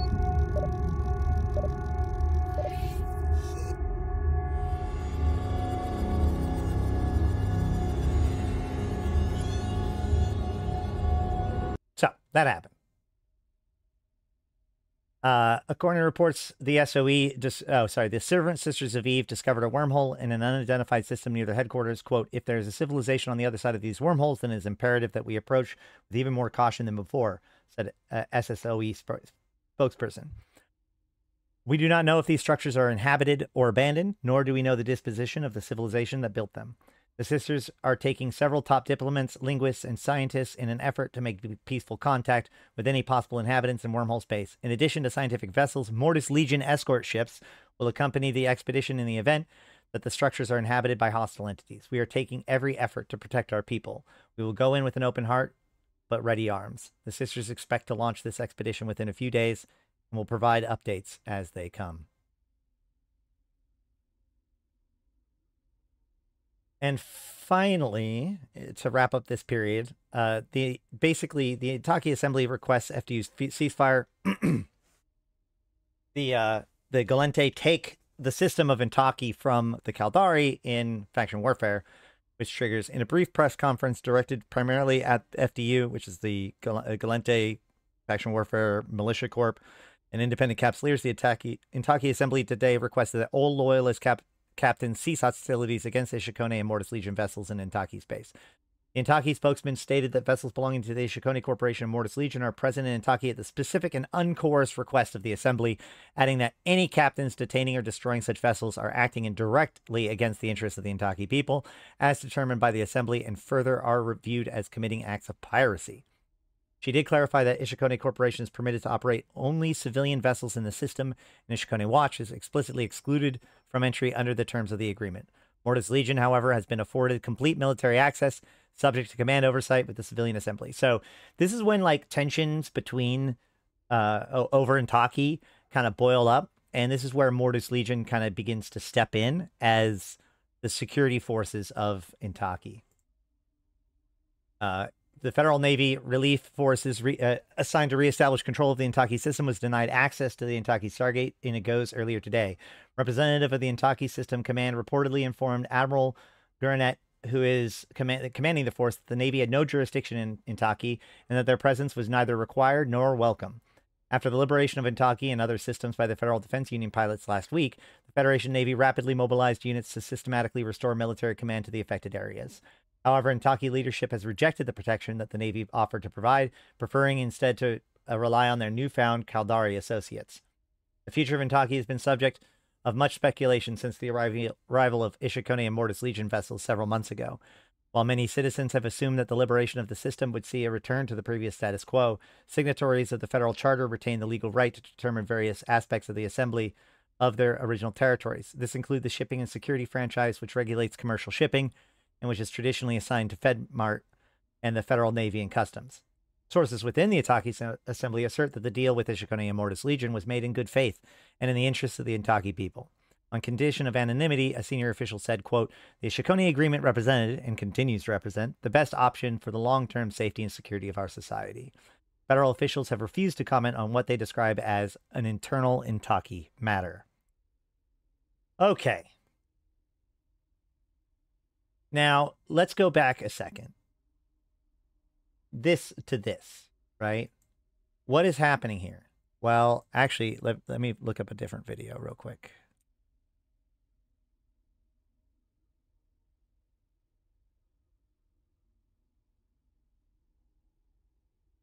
Because the problem is, is that the servant sisters of Eve, Mordu, and Mordu were not the only people examining uh, wormhole space. Uh, Lai Dai famously fen- sent in an expedition. Creodron showed interest. Um, but then there was this. A contingency of Amarrians uh, being led and directed by the Empress herself, the Jam- Jamyl Sarum, who was corrupted by the entity known as the Other, uh, began ransacking sleeper facilities in order to develop a new breed of clone soldiers, Over here. which they named the Templars. This one seems to be intact. Okay, let's bring it in for analysis. The implant recovered by the extraction team has fascinating properties. An instant transfer of consciousness, even at the moment of death. So much blood has been spilled in the name of our faith. Too many have died at the hands of Imperians. Imagine the military application. But we have been blessed. I will unleash this new power and end the war. We cannot allow one nation to control it. They have done enough to leave their mark on history. Their soldiers would be dangerous beyond measure. The power they would have, they would be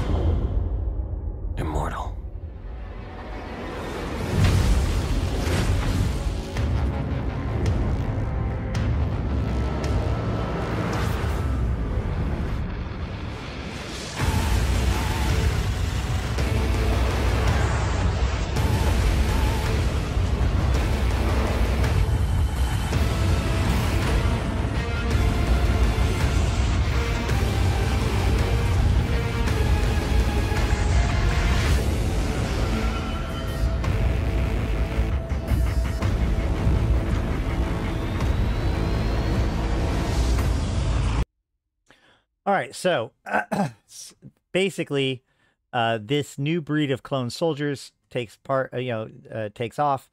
The events of Templar One do largely contain uh, Muryia Mordu. That's where this whole thing about not Imperial, that's Imperial Age. Uh, the whole thing about um, Mordu and he, oh yeah, I closed it already. Mordu and his hat came from that. Uh, Mordu, like I, I'm not going to go too deep into all of that right now, but um, you know, it's a pre- he's he's a pretty fun character in that whole thing. But he kind of is operating as an independent agent at that time. So the Dust Soldiers are brought into the world, right? Um, the first breed of clone soldiers are um, are destroyed, but um, or you know, the the first breed of clone soldiers, the Templars, which were corrupted by um, the other and the sleepers through their implants, were kind of hunted down, and further iterations of clone soldiers would then become the dust mercenaries that we know. Um, and of course, Mordu's Legion uh, operates with them, and uh, eventually from this comes Arkhambine. Now then.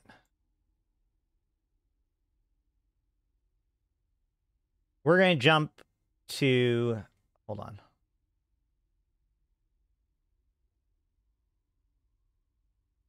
Yeah. Right? No. Yes. So we're going to jump to 2013 now. So we're we're making a kind of a big jump. Um, but we're we're into Templar One now, or we're into you know Dust Five One Four stuff. Automa, a fleet of approximately ten Mordu's Legion Roques, along with a contingent of roughly twenty Capsuleers, landed dropships on Automa Four in the middle of the war zone and extracted a large number of ground combatants, apparently belonging to Osmond Surveillance Mercenary Corporation. The Osmond mercenaries has apparently been def- defending against the Caldari Navy and Provost assaults, aided by Mordu's Legion. According to reports, both sides were supplem- supplemented by hundreds of independent mercenary forces in rolling battles which took place over several days. Reports indicate that fighting on the planets began several days ago and increased in intensity as more and more mercenary forces were called in by both sides in an attempt at a uh, to end the stalemate. The battle reached a high pitch at around 1200 EST and continued until 1800 EST as both sides made a desperate final push to secure the battlefield. Rumors indicate that the, some of the mercenaries fighting on behalf of the Caldari Providence Directorate purposefully allowed themselves to lose key objectives in that apparent sabotage in solidarity with Osmond surveillance. By 1800 EST, the Caldari forces have been pushed into a retreat and were unable to halt Mordu's Legion from securing the area. Two hours later, with the ground secure and the majority of the surviving Osmond surveillance soldiers gathered at a landing site. By the way, Osmond surveillance is a NPC group. As, as with many mercenary corporations authorized to carry out planetary operations by the Caldari Executive Panel, Osmond surveillance began life as a personal army of one of the greatest families in the Caldari state, the Osmond, owners of the Hyasyoda uh, mega corporation, now rumored to have gone rogue, but retaining Caldari corporate status. The infiltration and black operations wing of the Osmond family militia has turned into a ruthless mercenary corporation willing to take on any job from any client. We might want to trace these guys at some point. Uh, I know that these aren't listed in my Dust 514 corpse, but it is very possible that these guys were part of the evolution into Arkhambine, but I'm not 100% sure. Um, two hours later, uh, with ground secure and the majority of surviving Osmond survivors, um, the soldiers gathered at the landing site. Mordu's Legion entered uh, Automa uncontested, thanks to their good legal standings with the Caldari state, and then approached Automa 4 and deployed dropships while protected by a fleet of Capsuleers. Within a span of roughly 15 minutes, the dropships had gathered the Mordu's Legion and Osmond surveillance personnel and returned to the Rhea class freighter in orbit. They then departed, traveling unmolested to Suggerento, where the fleet docked in a Republic Security Service station. Reports indicate a few known Caldari. Can you imagine getting a Rhea into Suggerento un- unmolested? Anyway, reports indicate that a few known Caldari loyalist capsuleers in the area who observed the action, though apparently either in too few numbers or simply unwilling to stop Mordu's Legion. According to the sources, the Caldari Navy apparently put out a call for assistance roughly 20 minutes before Mordu's Legion arrived in space, indicating complications in battling the previously reported Guristas and Angel cartel incursions. Interesting. Angel and Guristas. Nowadays, anytime I see Angel and Guristas put together in the past, I'm get kind of curious. Rumors indicate widespread dissatisfaction amongst loyalist capsuleers with how the Caldari Navy has handled and controlled military action, particularly the lack of communication and persistent rumors that the state is targeting its own citizens. As has been a common refrain, the Caldari Navy has refused to comment besides refuting the uh, assertions it is targeting Caldari citizens. Osmond Surveillance has released a statement saying it is cooperating with the Caldari Provisional Directorate on this issue and has no plans to follow the path of entire Direct Action and file a lawsuit. Entire Direct Action is one of those groups that we watch because of the death list. But there is somebody else that hasn't really been talked about yet in this story that I do need to bring up, which he comes from Empyrean Age, and I don't know how we've missed it, which is Tibus Heth. Tibus Heth, you know, the state, the Caldari state is always supposed to be like these mega corporations that the tension between the mega corporations is what keeps the state in balance, right? That it's not a dictatorship. There's no one person in charge. There's just this council, and there is a chairman, but that's it. Well, um, when Tibus Heth like comes into the scene uh, with the help of um, the the broker, he's kind of moved into position to take over the Caldari state, and he forms what's called the Caldari Providence Directorate, which is like, like, this is like Caldari's full experiment with authoritarianism, basically.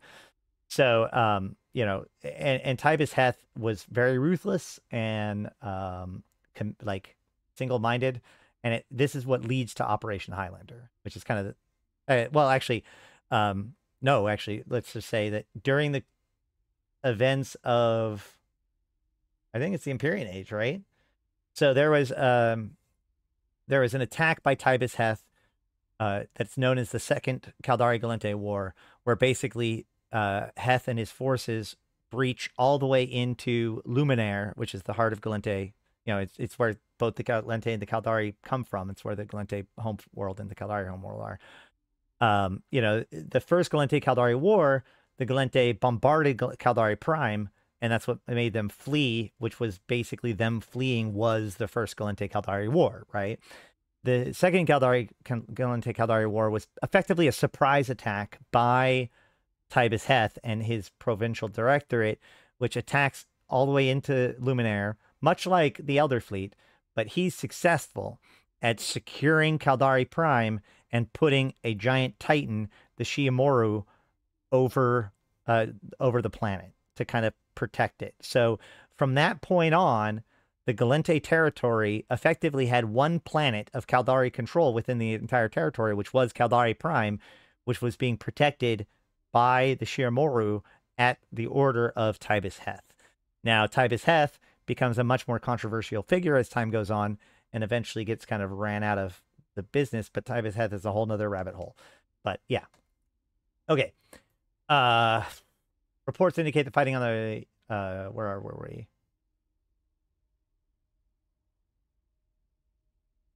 Yeah, we're we're done. That's what it is. Mordu's Legion Angel Cartel joins Guristas in offering aid to Caldari targets.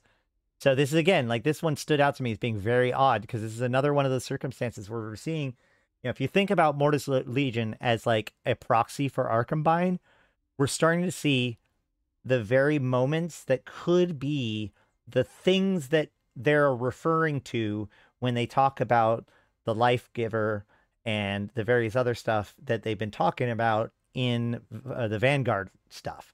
So, um, you know, they talked about how the Angel Cartel and the Guristas have been working together since YC 115. Well, look, here we are. As the Caldari Navy and affiliated forces continue their operation within state space, several well-known pirate and mercenary organizations throughout New Eden has descended on the in the aftermath of battle, seemingly to offer aid and su- succor to those involved. The Guristas notably raided a ground battle between Caldari Pro- Providence Directorate and forces belonging to Antara Direct Action last week, making off with a number of combatants of inter- indeterminate disposition. Afterward, Guristas representative uh, Sin claimed, quote, those who were responsible to pull out are being cared for. Uh, sorry, who those who we we were able to pull out are being cared for and are receiving the correct medical support and assistance. She later went on to say in a separate statement that Guristas would be able to find some position for anyone with unique talents who might have cause to hate the state. And those who were the target of the statewide mili- military assault seemed to fit that description. While the claims of the Guristas were denied later by the Caldari Navy, more reputable organizations have also been spotted, though none has apparently yet inserted themselves into the middle of combat. Most notably, Mordu's Legion, the renowned mercenary corporation, released a statement offering aid and shelter to any of the affected who wished it. The founders of the Legion knows what it means to be rejected and turned away by those you uh, you thought shared loyalty to you," said Legion spokesman uh, Suni Aina. There, they were war heroes, but were forced to abandon uh, abandon their homes. Mordu was there for those cast aside then, and it is here to welcome them with open arms now. We will assist any who ask. More surprisingly, the Angel Cartel, who traditionally operates from far from state space, has expressed their support for the targets of the Caldari offensive. Quote, the Caldar- cartel and victims of Caldari oppression can be of mutual benefit, said Angel Cartel representative Kalia Otterold. With no confirmation instances of cartel incursions have been made, rumors abound of scout ships appearing around Caldari systems. As of yet, Caldari Navy has yet to make any public statements except for to denounce the accusations of the Guristas that the assaults were targeting civilians. The Navy continues to proclaim the need for operational security in denying requests for further information. So, tensions building up.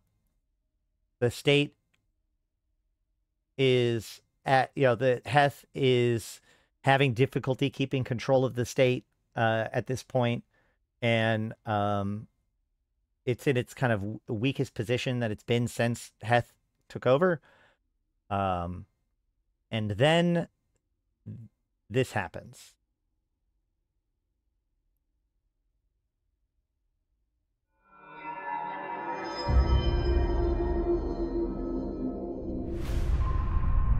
Caldari Prime. Are you sure you're up for this?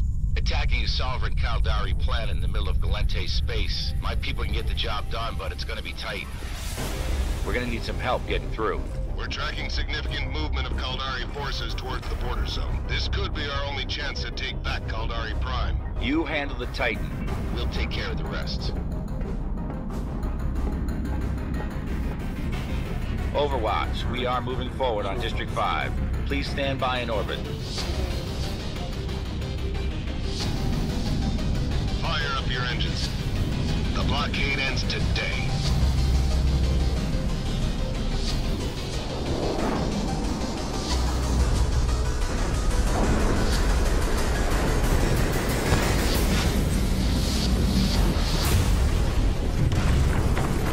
So we talked about Operation Highlander. Focus on your I don't know where you got your intel from, but we're getting slaughtered down here. We need that strike. It's no picnic up here either. We're working on it. Somebody light up that HAV.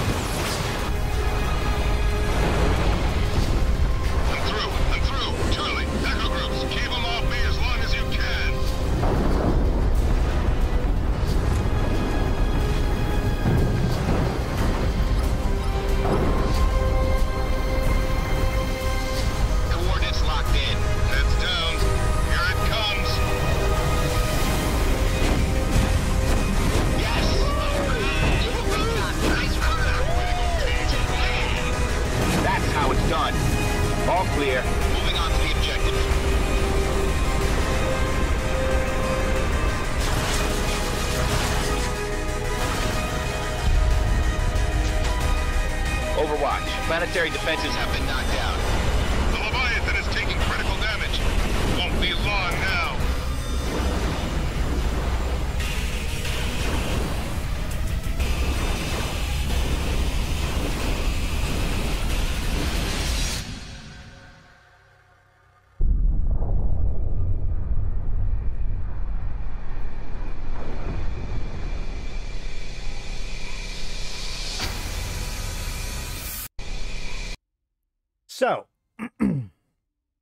yeah, I, I realized that talking over it wasn't going to work. Sorry. Uh, is Heth still alive? As far as we know, he was killed by Blood Raiders. That's the that's the current theory, but his body was never found. Only his pocket watch. Um, so this is the remains of the Shigemoru, uh, which crashed on Caldari Prime in near the Calichiota Mountains, kind of near Arcurio Prime. Fed Navy releases Caldari Prime details citizens react. The Federation Navy statement detailing Operation Highlander, the code name for the offensive on Caldari Prime that ended with the destruction of the Shigeru, uh, was the state. Uh, the statement declared an, the operation an overall success, while noting that certain details did not go as planned. In particular, the Federation Navy expressed dismay at the crashing of the Shi- Shigeru into Caldari Prime and the damage it caused though it noted that a much larger disaster was prevented by the destruction of the ship's engines while it was still in orbit. Additionally, the release put into question the belief that the Federation had overall supremacy, which would have enabled its ground forces to oust the Caldari defensive planetside. Quote, despite orbital superiority, the Caldari forces remained on the planet and had control of enough orbital defenses to make supply drops unfeasible. It is believed that any offensive to secure these defense batteries would have been too costly to attempt. So it's worth noting this is actually a live event that really did happen. Uh, we've covered Operation Highlander a lot in other videos, but basically this was a simultaneous event that occurred in Dust 514 and in EVE Online at the same time, where we fought over the fate of the Shigeru. And basically that last scene, like when when the when it was out, like the second that it was blown up, they brought the servers down, and then when they brought it back up, like a, uh, like a minute later, this was the new this was the change to the map was that they added the Shigeru in the background. Uh, the statement went on to say that the Navy fully agreed with the sentence and the reason why they're saying this, uh, like, kind of the lack of control was that, you know, it is uh, this is actually one of the events that got criticized a lot because it was very clear that the players that were supporting the Gallente were not beating the players that were supporting the Caldari, but the Navy was superior, and therefore, basically, the event was going to go the way it did, no matter what happened. But it was still a really fun thing to take part in. The statement went on to say that the Navy fully agreed with the Senate's decision to turn Caldari Prime into a demilitarized zone and was already pulling out its forces. Quote, Despite the destruction and chaos on the ground, the Federation Navy understands that leaving its own armed forces on the ground would only cause needless tension, which might reignite fighting. This is why we, along with the Caldari ground forces, are withdrawing and turning over security of the planet to Mordu's Legion. The knowledge that Mordu's Legion is taking over security for the planet has not previously been released by any party, though representatives for the state and Mordu's Legion has all independently confirmed this truth. Citizens across the Federation have been heavily positive about the press release and knowledge it contained. We had to get rid of that Titan, said a citizen of Galent- Gallente Prime. They were holding people on Caldari Prime hostage. And imagine what would have happened if they had decided to warp it over to Gallente Prime. I can sleep more soundly at night with it gone. Another said, It's sad that so many people had to die, but it is what it is. The good thing is that we can limit, limit it to only necessary deaths. If we kept fighting for the planet, more and more people would be killed. And if the Navy is right, and the Federation might not have even taken it, well, it was the Caldari's planet in the first place. They deserve to live there in peace, just as much as anybody else. Final details of Caldari Prime DMZ announced. Luminaire will be divided into a number of districts that shall be split between Gallente and Caldari administration, while Mordu's Legion will provide security for the planet. After final negotiations, roughly 54% of the districts will fall under the Caldari jurisdiction of, of the Ishukone Corporation, while 46% of, the Gallente district's administration by material acquisitions. The districts are purely administrative and should not be seg- segregated. They shall not be segregated by ethnicity. The treaty has been signed into law by, by the Senate, President Jacques Rodin, and the Chief Executive Panel. Inhabitants of the Gallente districts will be considered full citizens of the Federation and fall under all laws that previously applied to Caldari Prime prior to the Caldari invasion. The Caldari districts are under a more convoluted system, with the individuals res- retaining corporate citizenship with their current megacorporation employers, though Ishukone will collect administrative taxes and apply the, their corporate law for civilian activities. According to the terms of the treaty, Caldari Prime's two largest cities, Arcurio and Toville, shall be split between two sides. Toville will fall under Caldari administration, while Arcurio has been placed within a, a, a Gallente district. Mordu's Legion will be Mordu's Legion shall be solely responsible for the defenses and policing of the planet, with neither the Gallente nor Caldari armed forces of any corporate police forces having jurisdiction. Mordu's Legion will be paid from the joint fund provided by the Federation government and the Chief Executive Panel, with each side providing an equal share to prevent the potential for bias. Vessels belonging to Mordu's Legion have already been spotted transporting troops, police, and supplies in preparation for a long term stay. In a joint statement released by both Federation State, the agreement was called was uh, called a compromise that provides the best path towards the preservation of the Caldari Prime and the fairest resolution that could be reached. Ishukone has reported that its relief efforts are going well and that received continued support from other megacorps such as Sukuuvestaa, which diverted a shipment originally planned for the Navy to the relief effort. The majority of remaining combatants has been evacuated from the surface, with a few remaining to be removed by the end of the week. Power has been restored to two thirds of those who have lost it, with estimates that the rest will be back to operational status within two days. Uh, Nugoeihuvi visits Caldari Prime, reports uh, significant process, uh, progress. Uh, representatives of Nugoeihuvi Corporation, on behalf of the CEP, visited Caldari Prime over the past week to compile a report on uh, Ishukone Corporation's progress on restoring the planet. According to their initial reports, Ishukone is showing stellar prog- progress in securing Caldari interests on Caldari Prime. Following weeks of heavy fighting, including a clash of the Leviathan, the crash of the Leviathan class Titan Shiguru, Caldari Prime has been heavily damaged with services cut off to many inhabitants. According to NOH report, the vast majority of these services have been restored in the newly formed Caldari districts, with only an insignificantly small number of individuals going without. Additionally, repairs on the damaged infrastructure are progressing rapidly. While it will take years to fully restore all damaged infrastructure to peak condition, Ishukone is already ahead of schedule. Caldari citizens who have migrated out of the newly minted Gallente districts have reportedly general uh, happiness with Ishukone's oversight, despite many being citizens of other megacorps. Additionally, a fair number of ethnic Gallente who have been long-term residents of the now Caldari districts have chosen to remain, citing an unwillingness to uproot and confidence in Ishukone's ability to govern fairly. Tibus Heth released a statement in response to the report attacking its accuracy. Quote, Given the details of the investigation, it is impossible to take the report seriously. The NOH representatives were constantly shadowed by members of Ishukone Watch, ostensibly for their protection, despite the so-called treaty which assigns policies, uh, uh, policing duties of Caldari Prime to Mordu's Legion. Following the traditions, uh, traitorous tradition of Otro Gariushi, Ishukone used deceit to advantage their own aims. Already we see them bowing to the Gallente, appeasing them, and allowing them to infringe on Caldari land and rights. How long will it be before Ishukone gives to their Gallente masters and usurps the planet completely? Uh, I will be launching my own investigation of the planet with my own loyal men and women, acting completely independently of any Ishukone oversight. I anticipate we will be hearing much different story from them. Nugoeihuvi responded to the statement, insisting on the accuracy of its report. Quote, We place full faith of the ability of our auditors to remain unbiased. With corporate history of Ishukone is well documented, and we have no reason to cover up for them. The Ishukone Watch security assigned us assigned to us was never once attempted to prevent the auditors from doing their duties. In truth, the Ishukone Watch presence was wholly superfluous, as our auditors never felt the slightest bit of danger. So the important thing to note here is that um, Heth came from the Kaalakiota Corporation, and his biggest rival was Ishukone. Otro Gariushi was one of the people that was really holding back his rise to power. So, um, yeah.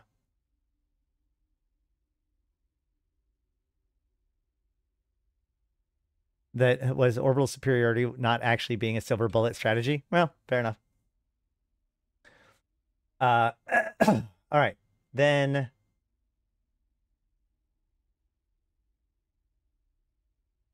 a month later, Mordu's Legion has announced that it has gained full operational over- oversight of Caldari Prime. The last of its combatants remaining planet side has been safely evacuated. The Mercenary Corporation has already begun its efforts with the more highly populated areas of the planet that are prime for beginning offering full services to the planet. As part of the treaty signed between the Gallente Federation and the Caldari State, I just had to check the time. Sorry. Uh, Mordu's Legion is responsible for the military protection of Caldari Prime, including enforcing the established districts and preventing unlawful border crossing and smuggling. The Legion will also work with po- local police forces to preserve jurisdiction rights and prevent disputes between districts. In a statement with, from Muryia Mordu, the Legion promised to work closely with its partners to ensure transparency. Ishukone and material acquisitions will remain in firm control of the Caldari and Gallente districts, respectively. We will provide regular full reports to both of them. The Chief Executive Panel and Gallente Senate in oh, eh, oh sorry, will report will full reports to both of them, to both them, the Chief Executive Panel, and the Gallente Senate in order to preserve transparency and ensure we are providing fair and neutral oversight of the planet. According to re- reports, all involved parties are pleased with the progress Mordu's Legion has made and are sure, confident they will continue to maintain p- the peace on the planet. Wreckage of Shiguru to be examined by Ishukone and Zainou. The Chief Executive Panel and Caldari Navy have announced that, as part of their continued investigation in the events surrounding the invasion of Caldari Prime, Ishukone Corporation and subsidiary Zainou Biotech will retrieve uh, will retrieve and investigate the wreckage of the Shiguru. Uh, Shiguru? Probably Shi- Shigeru. It's probably Shigeru. Either way, the largest piece of the wreckage, 700 kilometers outside of Arcurio, has been mostly untouched since the forward section crashed into the planet following the destruction in orbit. Experts say that the wreckage remains unstable as the ti- titanium alloy, which makes up its superstructure, continually racks, relax, reacts with the oxygen atmosphere and loses stability, pulling any attempts at putting any attempts at cleanup for years, if not decades, down the line. Yeah, it's worth noting that like titanium actually reacts very aggressively with oxygen. They cut it with um, other materials to make um, like effectively like titanium steel, but it still isn't great in atmosphere, especially if it's like the protections are are destroyed. Uh, like when the ship breaks in half. The CEP, however, stated telemetry data from the flight record is a p- vital part of our ongoing investigation into the effect, events of March 22nd. It must be recovered in order to proceed. Ishukone and Zainou engineers will work under the oversight of Mordu's Legion to recover and record the recorder, along with other components from the wreck, which may prove useful. Ishukone has stated it will exercise extreme caution in approaching the wreck as, quote, any un- unnecessary disturbance could cause the power core or the doomsday device to explode. And then we're looking six months later. Several clashes occurred between the borders between Gallente and Caldari held districts of Caldari Prime over the weekend, but were swiftly dealt with by Mordu's Legion. According to reports, the clashes were sparked by the revelation that the Federation government has been spying on Caldari corporations.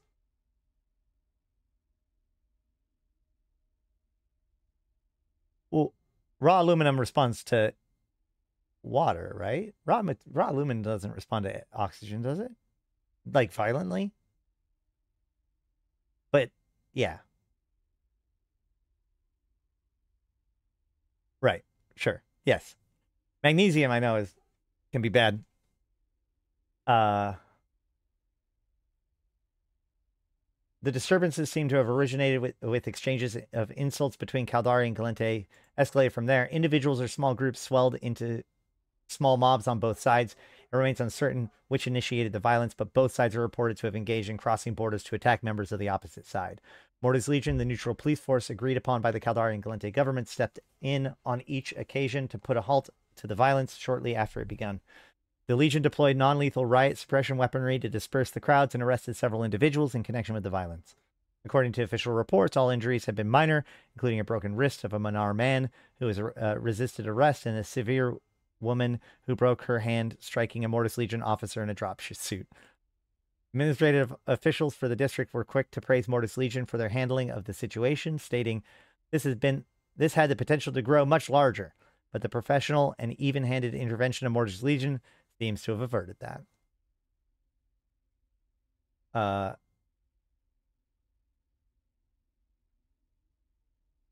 oh, shoot! This is way out of timing. This is from the beginning of the year. This is more um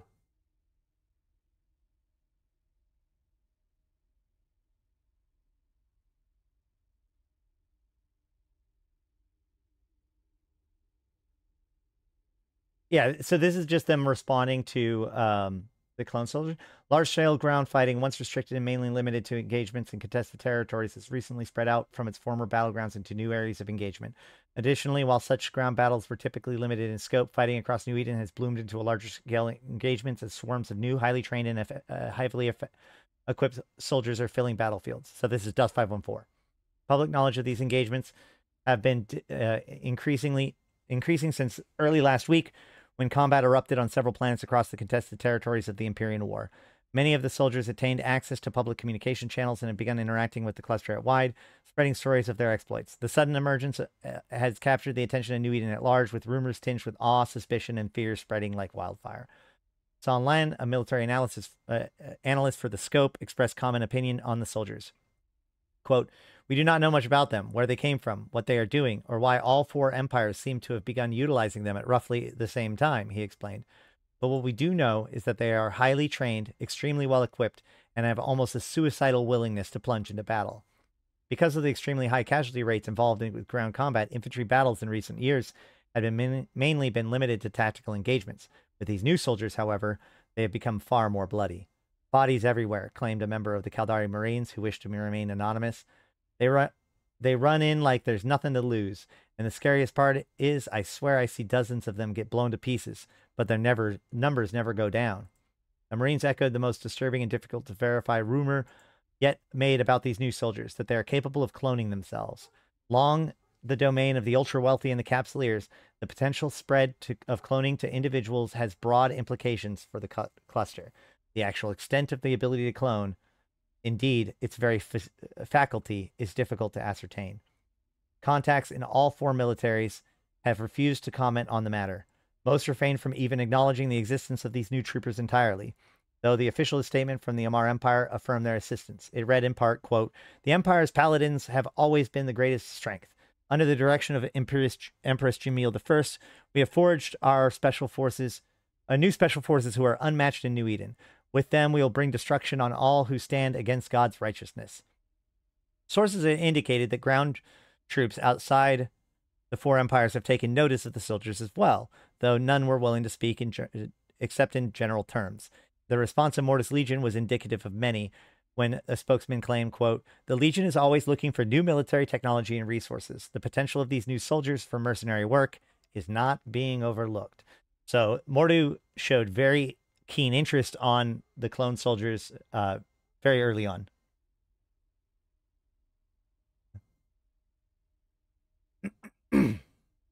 However,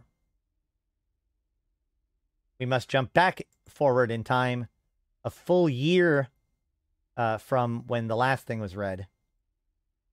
And uh, three months, four months after the previous thing. Ishukone meets with Gallente Senate on Caldari Prime. Media outlets across uh, the state were thrown into a frenzy of activity this morning after it was revealed that Ishukone Corporation Administrative Director on Caldari Prime has initiated private talks with Gallente Senate. Originally reported by the chief Caldari Prime correspondent for Nugoeihuvi, the re- re- revelation came after a convoy of Ishukone branded transports arrived in central Arcurio this morning, flanked by an armed escort of Mordu's Legion's 31st Armored Division vehicle. The convoy reportedly made its way into downtown Arcurio before heading for the Federal Assembly Complex, where they were granted access beyond its heavily guarded perimeter. Since footage of the convoy was released across the state to Nugoeihuvi midday news broadcast, reaction has ranged from muted disapproval to visible outrage uh, from various organizations within the state over Ishukone's increasingly close cooperation with the federal government. A number of sources within the state has indicated that both Lai Dai and Kaalakiota has approached the chief executive panel with concerns related to Ishukone's continued distancing from the rest of the Big Eight, uh, their relations with the federal government, and their monopolistic hold on Caldari operations on Caldari Prime.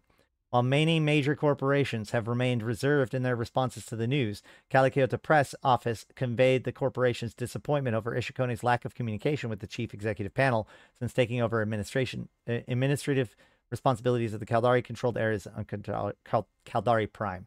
With news of further progress on Caldari Prime and rumors ab- abound that Ishukone's CEO Mens Reppola may be en route to Caldari Prime to attain talks in person. Ishukone's stock prices continue a slow but steady recovery towards their value before YC 110 attacks on. Malkalen. Uh, the Malkalen disaster was the um, Nyx flying into the station. Uh,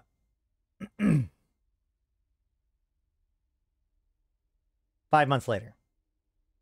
5ZXX Tech X Pure Blind. Mordu's Legion Command has completed its issue of decoration today, honoring pilots who were involved in the op- orbital battle above Caldari Prime on March 22nd, YC 115. The battle, which was triggered by Operation Highlander, the Federation Navy's assault against the Caldari Navy's Leviathan class CN uh, class Titan CN Shiguru Shigeru, yeah, brought an end to the five year siege of Caldari Prime, the historical capital of the Caldari state and homeworld of the Caldari people. In a statement released by Muryia Mordu this afternoon, the declaration was noted as, quote, a tribute to the actions of independent capsuleers and the notable sacrifice of countless crew in service of both Gallente Federation and Caldari State, which was made to ensure that the turbulent situation of the planet was brought to an end. Mordu concluded that the statement by expressing his personal gratitude to the recipients of the decoration. This is actually a real me- medal, by the way, in game. Uh, titled Muryia's Wings for their heroic efforts in bringing the conflict uh, on Caldari Prime, which is now recognized across the cluster as demilitarized zone under joint Caldari Galente administration to an end. Following the statement, Tuna Aina, strike commander for Mordu's Legion Command, responded to questions related to both the timing of the decoration's award by revealing that, quote, the issue of this ribbon has been in dispute with the Directive Enforcement Department for over a year, after a number of Navy personnel involved with the conflict regarded the decoration of Capsuleers and their actions during Operation Highlander to be in poor taste. She continued by expressing the opinion that Mordu's Legion Command believes that intervention by independent Capsuleers provided the required firepower to bring the situation to a swift resolution and prevented millions of deaths that would have been brought about by more prolonged conflict and surface counter invasion by the Caldari armed forces. Strike Commander Aina also confirmed that the decoration was issued to a total of 3,841 Capsuleers, all of whom were registered with the Directive Enforcement Department as having been involved in the engagement in lower or low orbit of Caldari Prime. Now I got to check to see if I have that medal. I don't even remember. Hold on.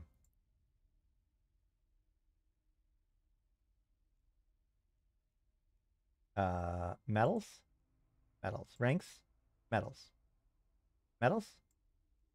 Why is medals not loading? That's weird. Wait, why isn't medals loading? Yeah, there we go. Because I have a lot of them. Uh, I don't think so. Nope. I have the Wings of Valor. So uh, leave a comment down below if you have uh, the Mordu's ribbon and what you think.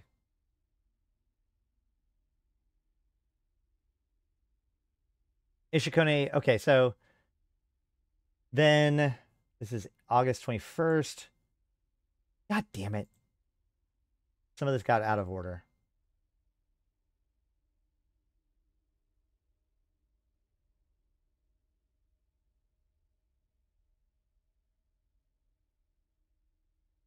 One month prior to that, um, the chief executives of Ishukone Material Acquisitions placed their signatures on an agreement that concluded the formal handover of the city of Arturo to the Caldari administration this afternoon. The ceremony occurred in front of Operation Highlander Memorial in District 24. Um, and the city was greeted with a roaring cheer of employees of both corporations as Mens Reppola and Entre Ilderi shared a handshake after the official handover of the city. The agreement specified that the city, which was regarded as a historical and cultural capital of the Caldari state, is now formally placed under Ishukone administration with Mordu's Legion Command, continuing to provide global security and policing for the planet.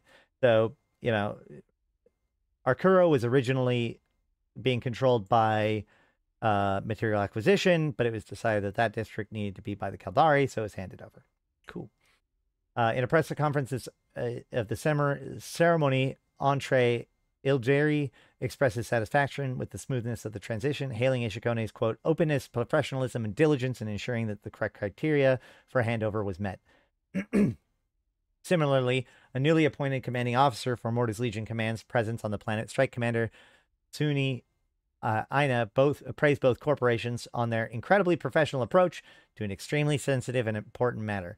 While the small scale unrest in several of our Curios outlying districts have been reported by several by local news agencies, there have been no reports of injury or property damage, and Mordu's Legion security forces have been quick to quell any disturbances in the wake of the handover.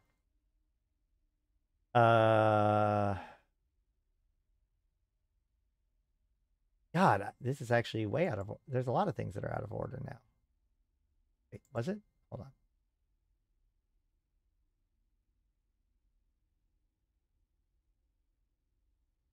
No, this is the one we got. We already read that one. Body of a disgraced Caldari Navy officer found on Caldari Prime. Wait, god damn it, this is in the past too. Sorry, a couple of these things got out of order. Um, Mordu's Legion Command confirmed afternoon that the body of a former Caldari Navy officer, Sammy Okuda, has been found in Carola Park, Central Troville in Caldari Prime. Public Relation Officer for the Independent Mercenary Contracting Corporation which was drafted to provide security for the contested planet after the it was declared a DMZ on April uh, April of YC 115 stated that Mr. Akuda was found approximately 1300 hours in this afternoon seated in a public rest area behind Lake Asara in uh, Carola Park. This was a beauty spot often frequented by tourists and local residents, and there was no evidence of foul play. His death is not being treated as suspicious, and the delay in any announcements is due to our insistence on first making contact with Ms. Mr. Okuda's family, given the sensitive nature of the matter. Several witnesses have reported to the press that the 58 year old Akuda, a former Navy veteran with 20 year service record, was seen in the park earlier the day and was found alone in a sitting area at the water slide in full military dress with a small flask at his side. When conducted, when contacted at their home in New Caldari Prime, the Akuda family declined to comment regarding events prior to the discovery. However, when approached while on deployment for the Lai Dai Protection Service in Noni Lone Trek, Akuda's eldest son appeared to brush off questions, stating that my father died in service to the state during the battle in Luminaire last March. The man you speak of obviously did what he felt was appropriate to preserve the honor of his family name. The Caldari Navy declined to comment upon request for a response to the discovery. What happened here? Well, uh, there is a tradition within the Caldari. Can I just look him? Hold on. At risk of compounding this even further, let's search for Akuda. Uh, like this so this is a whole different thread let me let me point out to you um that that is being related here but the key is hold on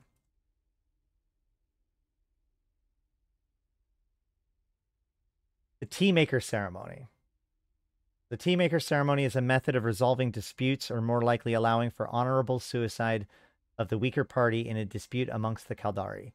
In the ceremony, one party uh, to the disputed uh, dispute forces the other party to drink poison tea, with the reasoning that the other party survives, they will have received divine favor. So that's probably what they're alluding to, especially with the empty flask.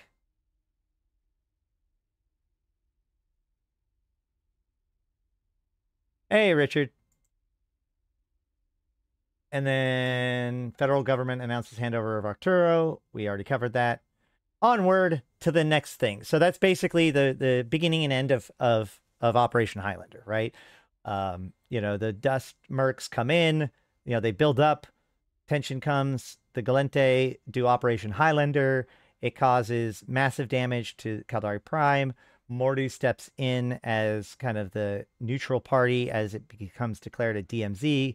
There's lots of political machinations, but or you know like negotiations, but it, gets divided up between the Caldari and the Gallente, with Mordu being given like full like security rights of Caldari Prime, and uh, eventually the system of, uh, the the city of Arcurio, which is one of the more important cities on the planet, it's moved from uh, the Gallente to the Caldari. Cool. Next.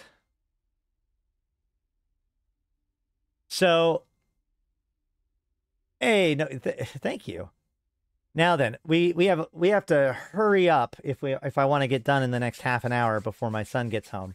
But let's see what we can do, okay? So, things are kind of quiet for a little while.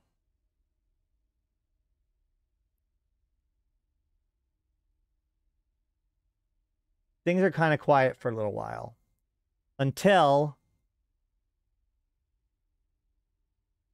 we get the formation of Upwell. Upwell, oh shit, hold on.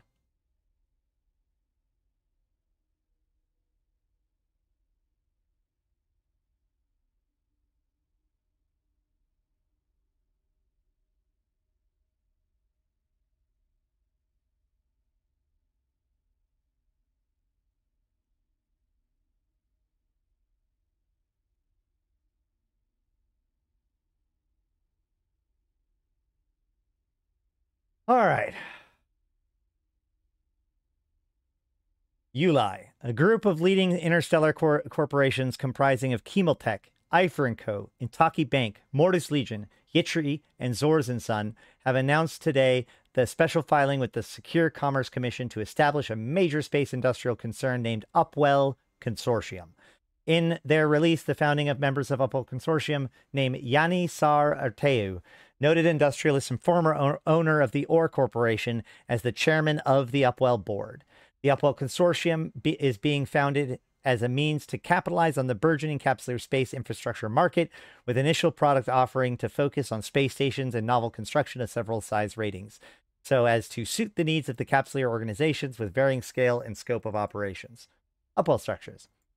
The formal grouping of normal uh, of a number of corporations from across New Eden in a multinational interstellar consortium of this nature has not been seen on this scale since the ill-fated Crielere project. Upwell Public Relations point out that the Crielere Project laboratories were a government-controlled organization and therefore subject to diplomatic pressures that the private partnership operating Upwell will avoid. Questioning as to the involvement of the Intaki Bank in Mordu's Legion, Upwell were upbeat and emphasized, quote, the enormous confidence that the undertaking expressed by the direct partnership with one of the New Eden's leading banks, combined with the tremendous operational security that is the hallmark of the Mordu's Legion, end quote. Gallente business commentator Vali- Valentin Ortiz of the Luminaire Stock Watch Galnet site says, We've seen some upward pressure on the stocks of those corporations that are listed in the Federal Federation Stock Exchange but are not seeing a stellar climb. My own feeling is that there are some surprises and cautions owing owing to the players actually involved with the Upwell Consortium. For their part, Upwell Consortium spokespeople are saying that the grouping is in negotiations with a number of potential partners and that Upwell is aiming at nothing less than dominion of the capsuleer infrastructure market. So that's all fine and good. But what we have here is the reemergence of the former uh, owner of Up of Ore. So this is the guy who became fabulously wealthy by building Ore up, right? This is the guy who handed it over to his buddy, which is where we began this entire story. And here he comes, and he's put in charge of this new organization that has the military wing of the Mordu's Legion, which is the very group that he worked with back when he was running Ore, right? So now Mordu's Legion has kind of turned away from Ore that's being run by now the Serpentis and towards and uh, you know clearly friends with and now it, it intricately bound back to Yanni, which leads to Mordu's Legion and Ar- Mordu's Legion and Arkombine forces have launched simultaneous attacks on key, key Serpentis-controlled ore stations across the Outer Ring region. The assaults appear to have captured all stations in swift, surgical executed operations, with most of the fighting already winding down. The same tactic was applied during all of the captures. Mordus used their fast ships to warp in and immediately throw out warp disruption fields to prevent any escapes. The importance that Mordu ships seem to have placed on destroying all ships attempting to escape somewhat contradicts the statement released by the Upwell Consortium today stating that the main objective of the operation was to return the control of the stations and Ore itself to the rightful owner and founder of Ore, Yanni Sar Arteo. Once the space had been secured, shuttles carrying Arkombine mercenary forces warped in and entered the stations. In most cases, the station personnel surrendered without a fight. It is expected that Ore will announce it is joining the Upwell Consortium as a full partner later today. This is Lena Amber, reporting for The Scope. So let's go back to Punch's question. Punch, are you still here? If you're still, I hope you're still here. So here you go. This is why Mordu and and Ore are still working together now, because Yanni took back Ore for himself through uh, Upwell and reunited uh, those two organizations. So there you go. That's why Mordu and ORE still work together, even though they fell apart back in 2008. So uh, Liner says, I have the Murray's Wing medal. Apart from this, have they given out any other medals for lore or player content? Yes. They've given out medals for Faction Warfare Warzone Control. They've given out medals for uh, the various trivia contests. Um, uh, and a lot of other contests too, especially recently, like uh, returning or um, uh, scientists and other kind of participation in other events. Every once in a while, they'll they'll give a medal to everybody that was there. Let me see if I can find any others, because um,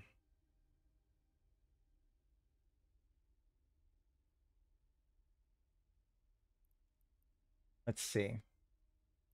I think that the yeah, so I think the two I have no. So I have the Caille Medallion of General Studies, which was awarded to me by the Caille University of Caille. That was for I think the uh the trivia challenge. Um the Federal Ribbon of Democratic Communication, I think was for a different uh trivia challenge. Um, and then these are all player ones. And then Wings of Valor. This was the one for taking the entire war zone. And then apparently I got one more. No, that's that's player one. Oh, oh, nope. I got this one. Distinguished Stargate Trailblazer Award which I got for participating in Stargate Trailblazer. So yeah.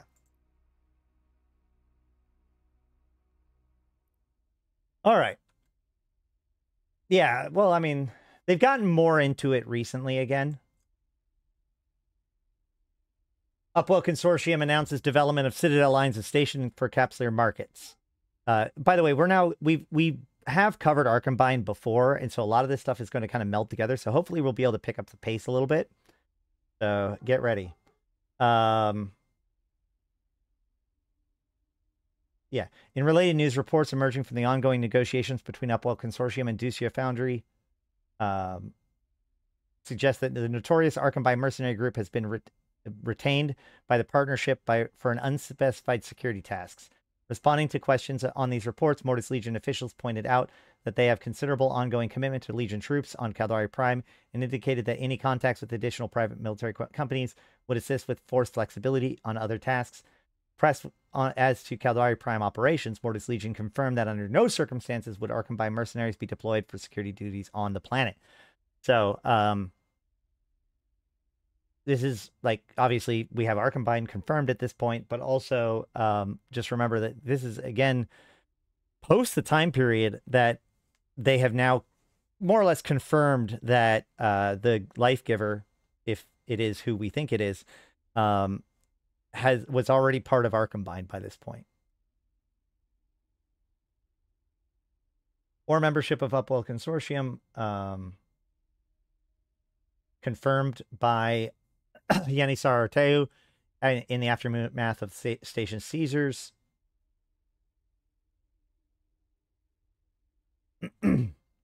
More details on the operation carried out by Upwell mercenary forces are emerging. Now seems clear that Arkombine troops staged from the Chemal Tech stations. Hey, it's like they've all known each other forever. And the outer ring has been massing at those locations under the cover of supply runs made by the Upwell members in the preceding days. Mordu's Legion forces are believed to have stuck struck routes via, uh, via, routes from both Cloud Ring and Syndicate, with indications that some Legion forces also used wormholes or cynosural fields to enter staging systems in Outer Ring. The lack of resistance in the ore stations believed to be due to a large-scale infiltration, together with rather welcoming attitude of the uh, on the part of the long-time ore employees.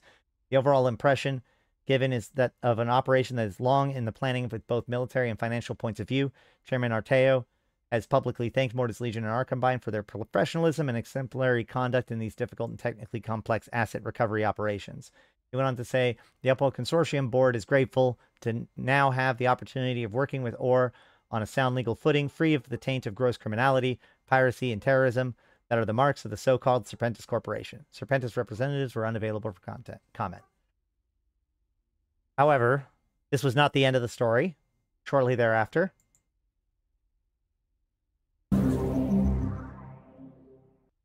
As expected, after last week's recovery of ore stations from Serpentis control, ORE has joined its liberator, the Upwell Consortium. Despite the overwhelming success of the operation, carried out by Mordu's Legion on behalf of Upwell, there are persistent rumors that the few Serpentis ships that managed to escape the onslaught took with them a considerable amount of valuable ore assets.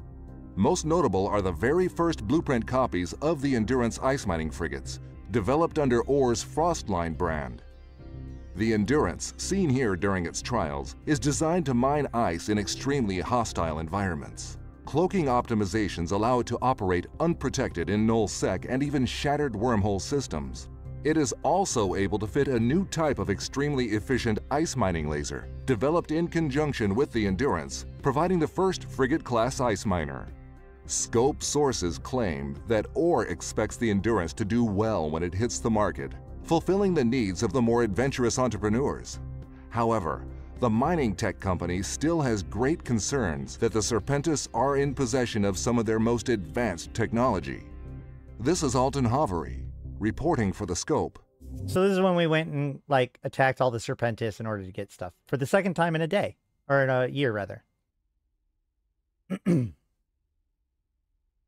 December 16th, YC 117, which is 2015.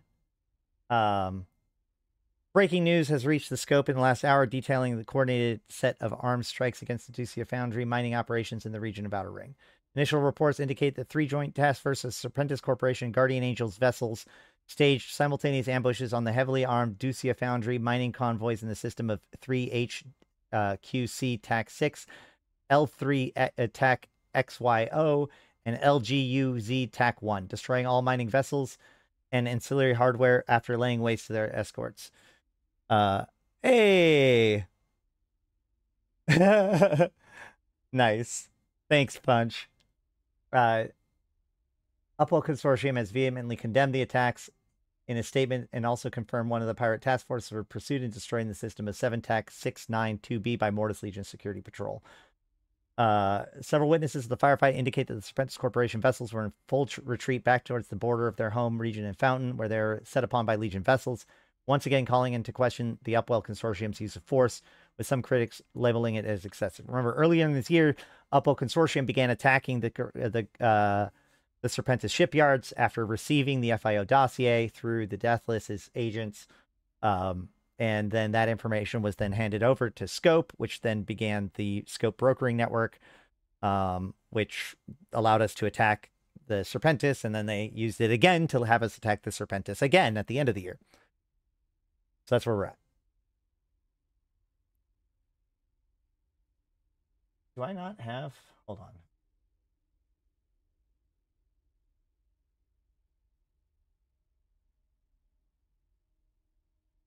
I do not have alerts showing on this on this theme. Sorry about that. You said I was here for Or Mordu reunion. Cue up "Take My Power Back" by Rage Against the Machine. Heck yeah, I'd play it, but you know, copyright. Anyway, uh, when approached by the scope with questions regarding the cl- claims of excessive use of force, Strike Commander Suni uh, Aina of Mordu's Legion Command commented on, "We have contracted." have a contracted obligation to provide protection for assets belonging to the Upwell Consortium, and will continue to do so with every gram, gram of strength our assigned task force can muster. So, um, I this is one of the things that's really nice about walking through the lore like this is because we get to see how these same characters are coming over and over again, right? They keep reappearing. Serpentis fall back after failed assault on mining platform. So then, the, at the beginning of the next year, AN TAC G54, the Serpentis Corporation appears to be in full retreat after a failed assault on Outer Ring Excavation's largest mobile mining and refining platform, resulted in heavy losses for their fleet early yesterday morning. Reports are now beginning to emerge that the removal of communication blackout saw, that saw parts of the constellation in Regalia over in Outer Ring locked down by Mordu's Legion command forces contracted by the Upwell Consortium. The fortification and lockdown of several systems was put in place for more than 24 hours after a failed attack uh, on the Kubera, ORE's largest and most valuable 8 million, uh, 8 billion ton combined ice and ore harvesting and processing platform, which was stationed in the system of AN TAC G54 at the time of the attack. Hey, Danny! Thank you for that. Danny says, show appreciation for Ash's work and leave a like. Thank you so much for your supporter membership. And uh, the reminder for everybody like the stream. It really does help get it out there. Um, yeah. Reports indicate that the aging but heavily armed deep space platform was able to defend itself from the attacking fleet almost 30 minutes, uh, and a broadcast and distress beacon that alerted Upwell security forces on the situation. Several sources have confirmed that the Serpentis Corporation fielded a sizable capital fleet that was uh, met head on by Mordu's Legion capital vessels in what appears to have been an attempt to make a very public statement against the reacquisition of ORE's assets from Serpentis control over the course of the last few months. Limited telemetry released by the Upwell Consortium appears to show that the Serpentis Corporation escalated the engagement with the second wave of capital ships after the arrival of Mordu's Legion's reinforcements before being beaten into retreat which concluded an engagement that lasted two hours. The largest mobile mining platform ever constructed, the Kubera, was launched in YC 98 as the flagship of the Outer Ring Excavations resource procurement fleet and has apparently suffered from lack of funding and maintenance under the Serpentis Corporation's oversight of ORE. Information from ORE has confirmed that the platform was moored in AN TAC G54 to support Ducia Foundry mining operations in the area when the attack took place. Outer Excavations has confirmed that the platform, along with two smaller harvesting platforms that were moored in the affected constellation, has been moved to an undisclosed location for repairs and rearming.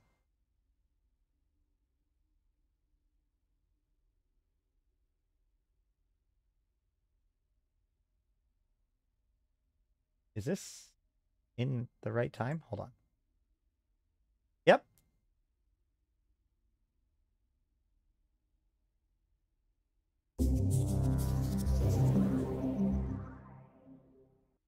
Recently surfaced Serpentis Capital class blueprints have caused a stir in military circles across New Eden. Based on Gallente Federation Navy designs, the Vehement class dreadnought, Vendetta class I had it backwards. Oh my god. I can't believe that. I, I must have gotten it wrong so many times. So the attack on ore stations in Operation Frostline came first, and Shadow of the Serpent came second? class supercarrier and the Vanquisher class Titan deliver more firepower than their original Gallente counterparts. In addition, they are optimized to support advanced stasis webifier and hybrid weapons technology. A well-known criminal corporation, the Serpentis had intended to offer the blueprints to loyal capsuleers. That plan came under fire when their shipyards were located and raided. Today, with the assistance of the Scope Network's extensive broadcasting system, Concord is now making the locations of these shipyards public, stating that all equipment and construction materials recovered by capsuleers during raids on the shipyards to be classified as free salvage. In addition to this, again, via the Scope Network, Concord is offering various rewards for the destruction of the identified Serpentis targets, including some of the rarest Serpentis blueprints that have ever been acquired. This is Alton Haveri, reporting for the Scope. All right. Stormwind Strike Force marks Ya- Yanala Day with staggered leave. So we are now in 2018. Okay. Arcurio Ca- Caldari Prime. Um,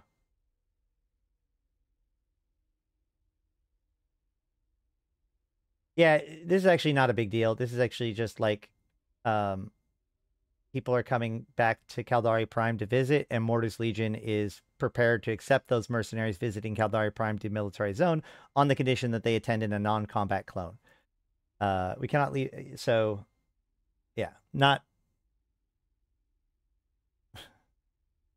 uh, not the most important Mordu news. Um, oh, okay, I just had this out of order too. And then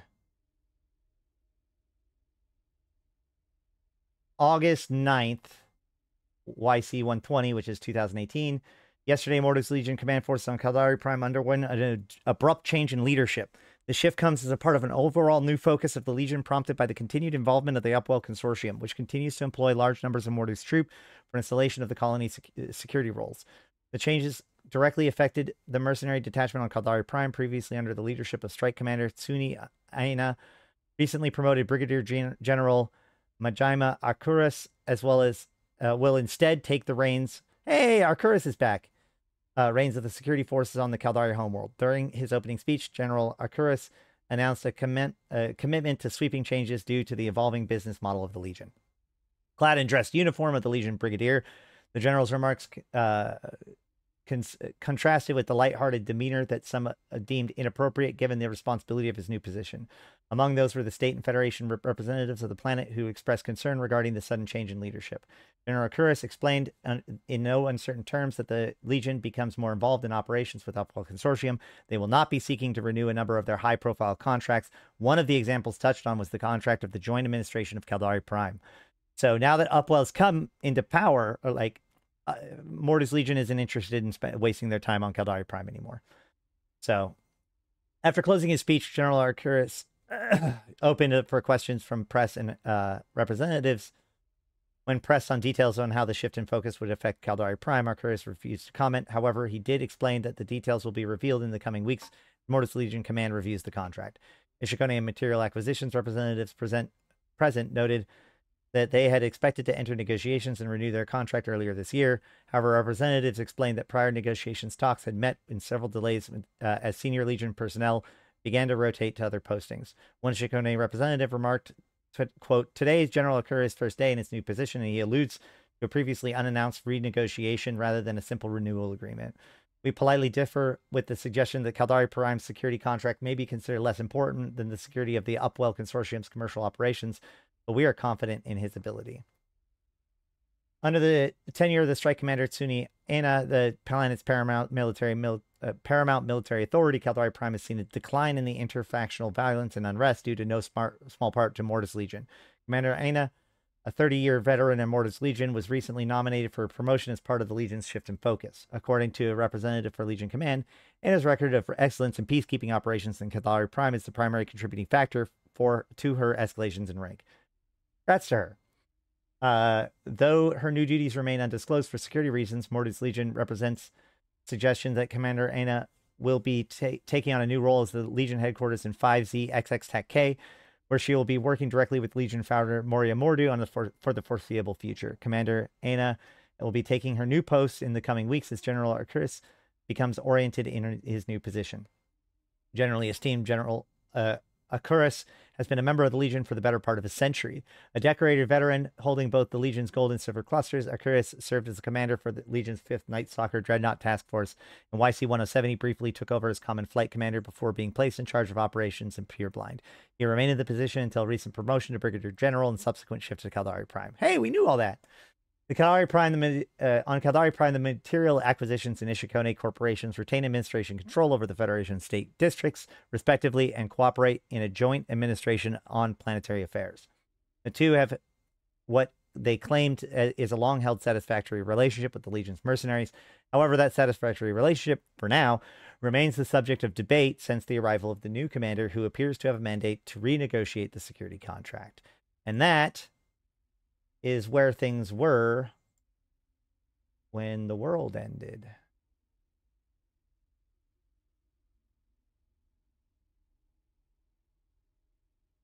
Uh, it is about that time that. Hold on.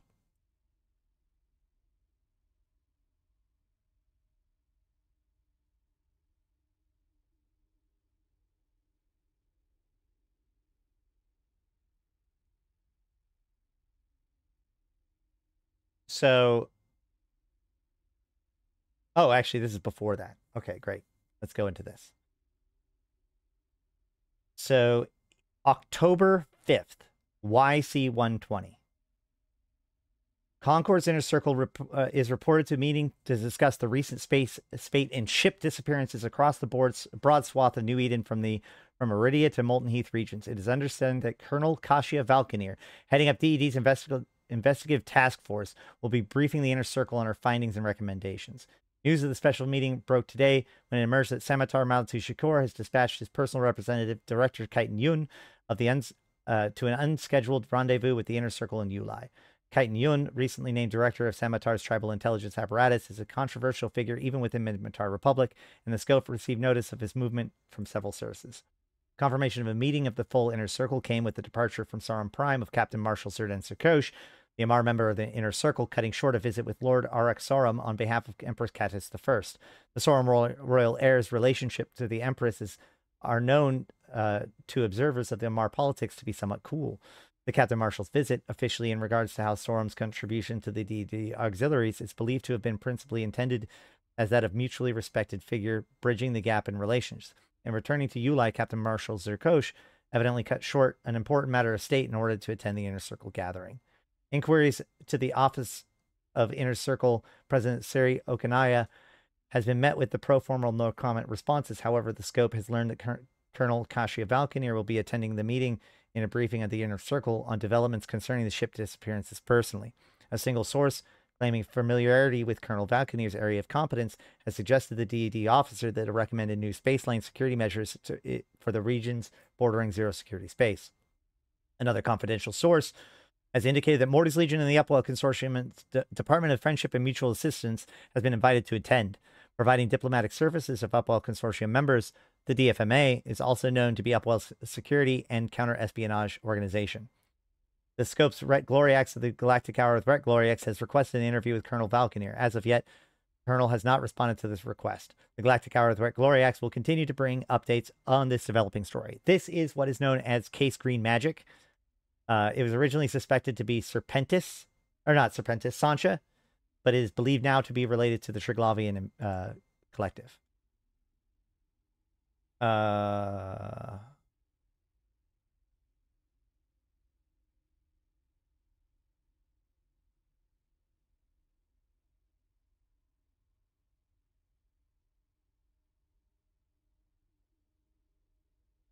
so the next year, in the next so sorry. By this time uh the triglavian collective had been identified by um it was yc121 so it was in one or i guess it was yc128 was it? No it's this right? Hold on. When did invasion happen? Or when did uh uh eve online abyss? No um what was the expansion called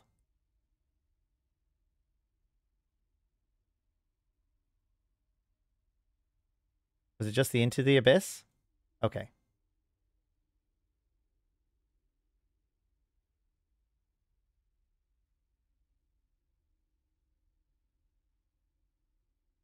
I do not have time for this.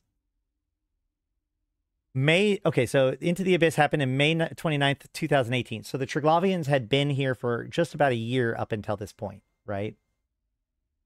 Uh, when, and a year up until this point. Heads up, I'm activating the abyssal filament. If you need to reload kinetic ammo and group weapons, do it now. Kinetic ammo? What are you talking about? I brought thermal. I got thermal ammo with me. Stole my thermal. Oh, come on, we went over this. It's super simple. It's a dozen ships, we kill them, grab the loot, and head for the. Alright guys, keep your stuff together. Here we go.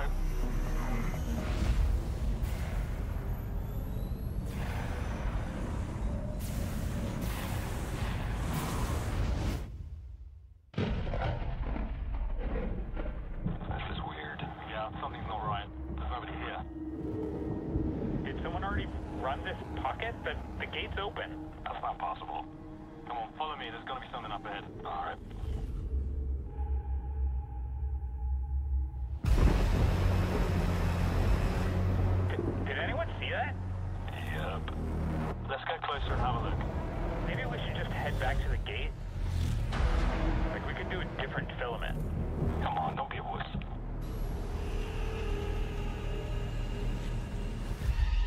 something up ahead. Alright.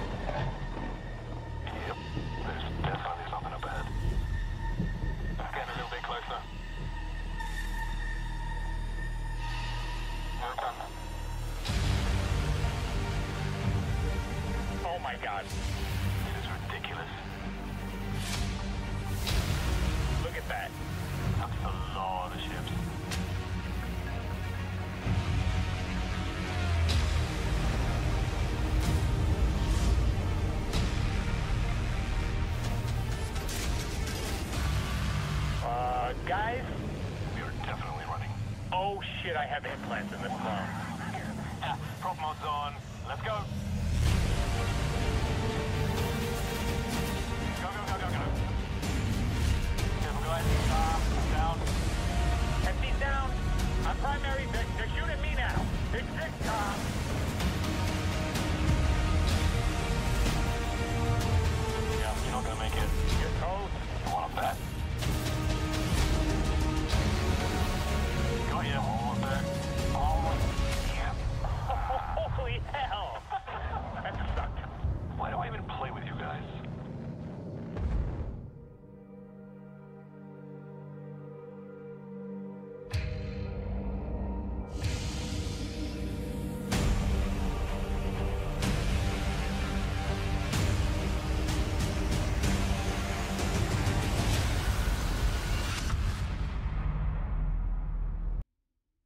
And unfortunately, we are going to have to call this here. Uh, I guess tomorrow, hopefully, we will return for part two of uh, the Mordu's Legion invasion and beyond. Although I have covered a lot of this stuff in a lot of other uh, aspects, including the I have a uh, speed run of the lore, which I think is a very good one, uh, and uh, other videos that you can check out on my YouTube with playlists and everything else. Or you can come onto the Discord and ask some questions um, and get involved in the current events because everything we talked about here are seeds of what is happening today. And now, uh, if you're still here, you know way too much about the Mordu's Legion. Um, you know, today we learned that like the connections between the Mordu and Serpentis and ORE and how uh, crazy that history has. And we we've laid out how Mordu went from working predominantly with ORE to then taking contracts with SOE and some other people, uh, leading to uh, becoming the security forces for both the Intaki and the Caldari Prime, which they've ended both of those contracts now so as to focus 100% on Upwell and now the current forces against the Deathless and the insurgencies. So uh, I hope this was good for you guys. Let me know if you liked it or if there's anybody else you'd like me to cover uh, like this.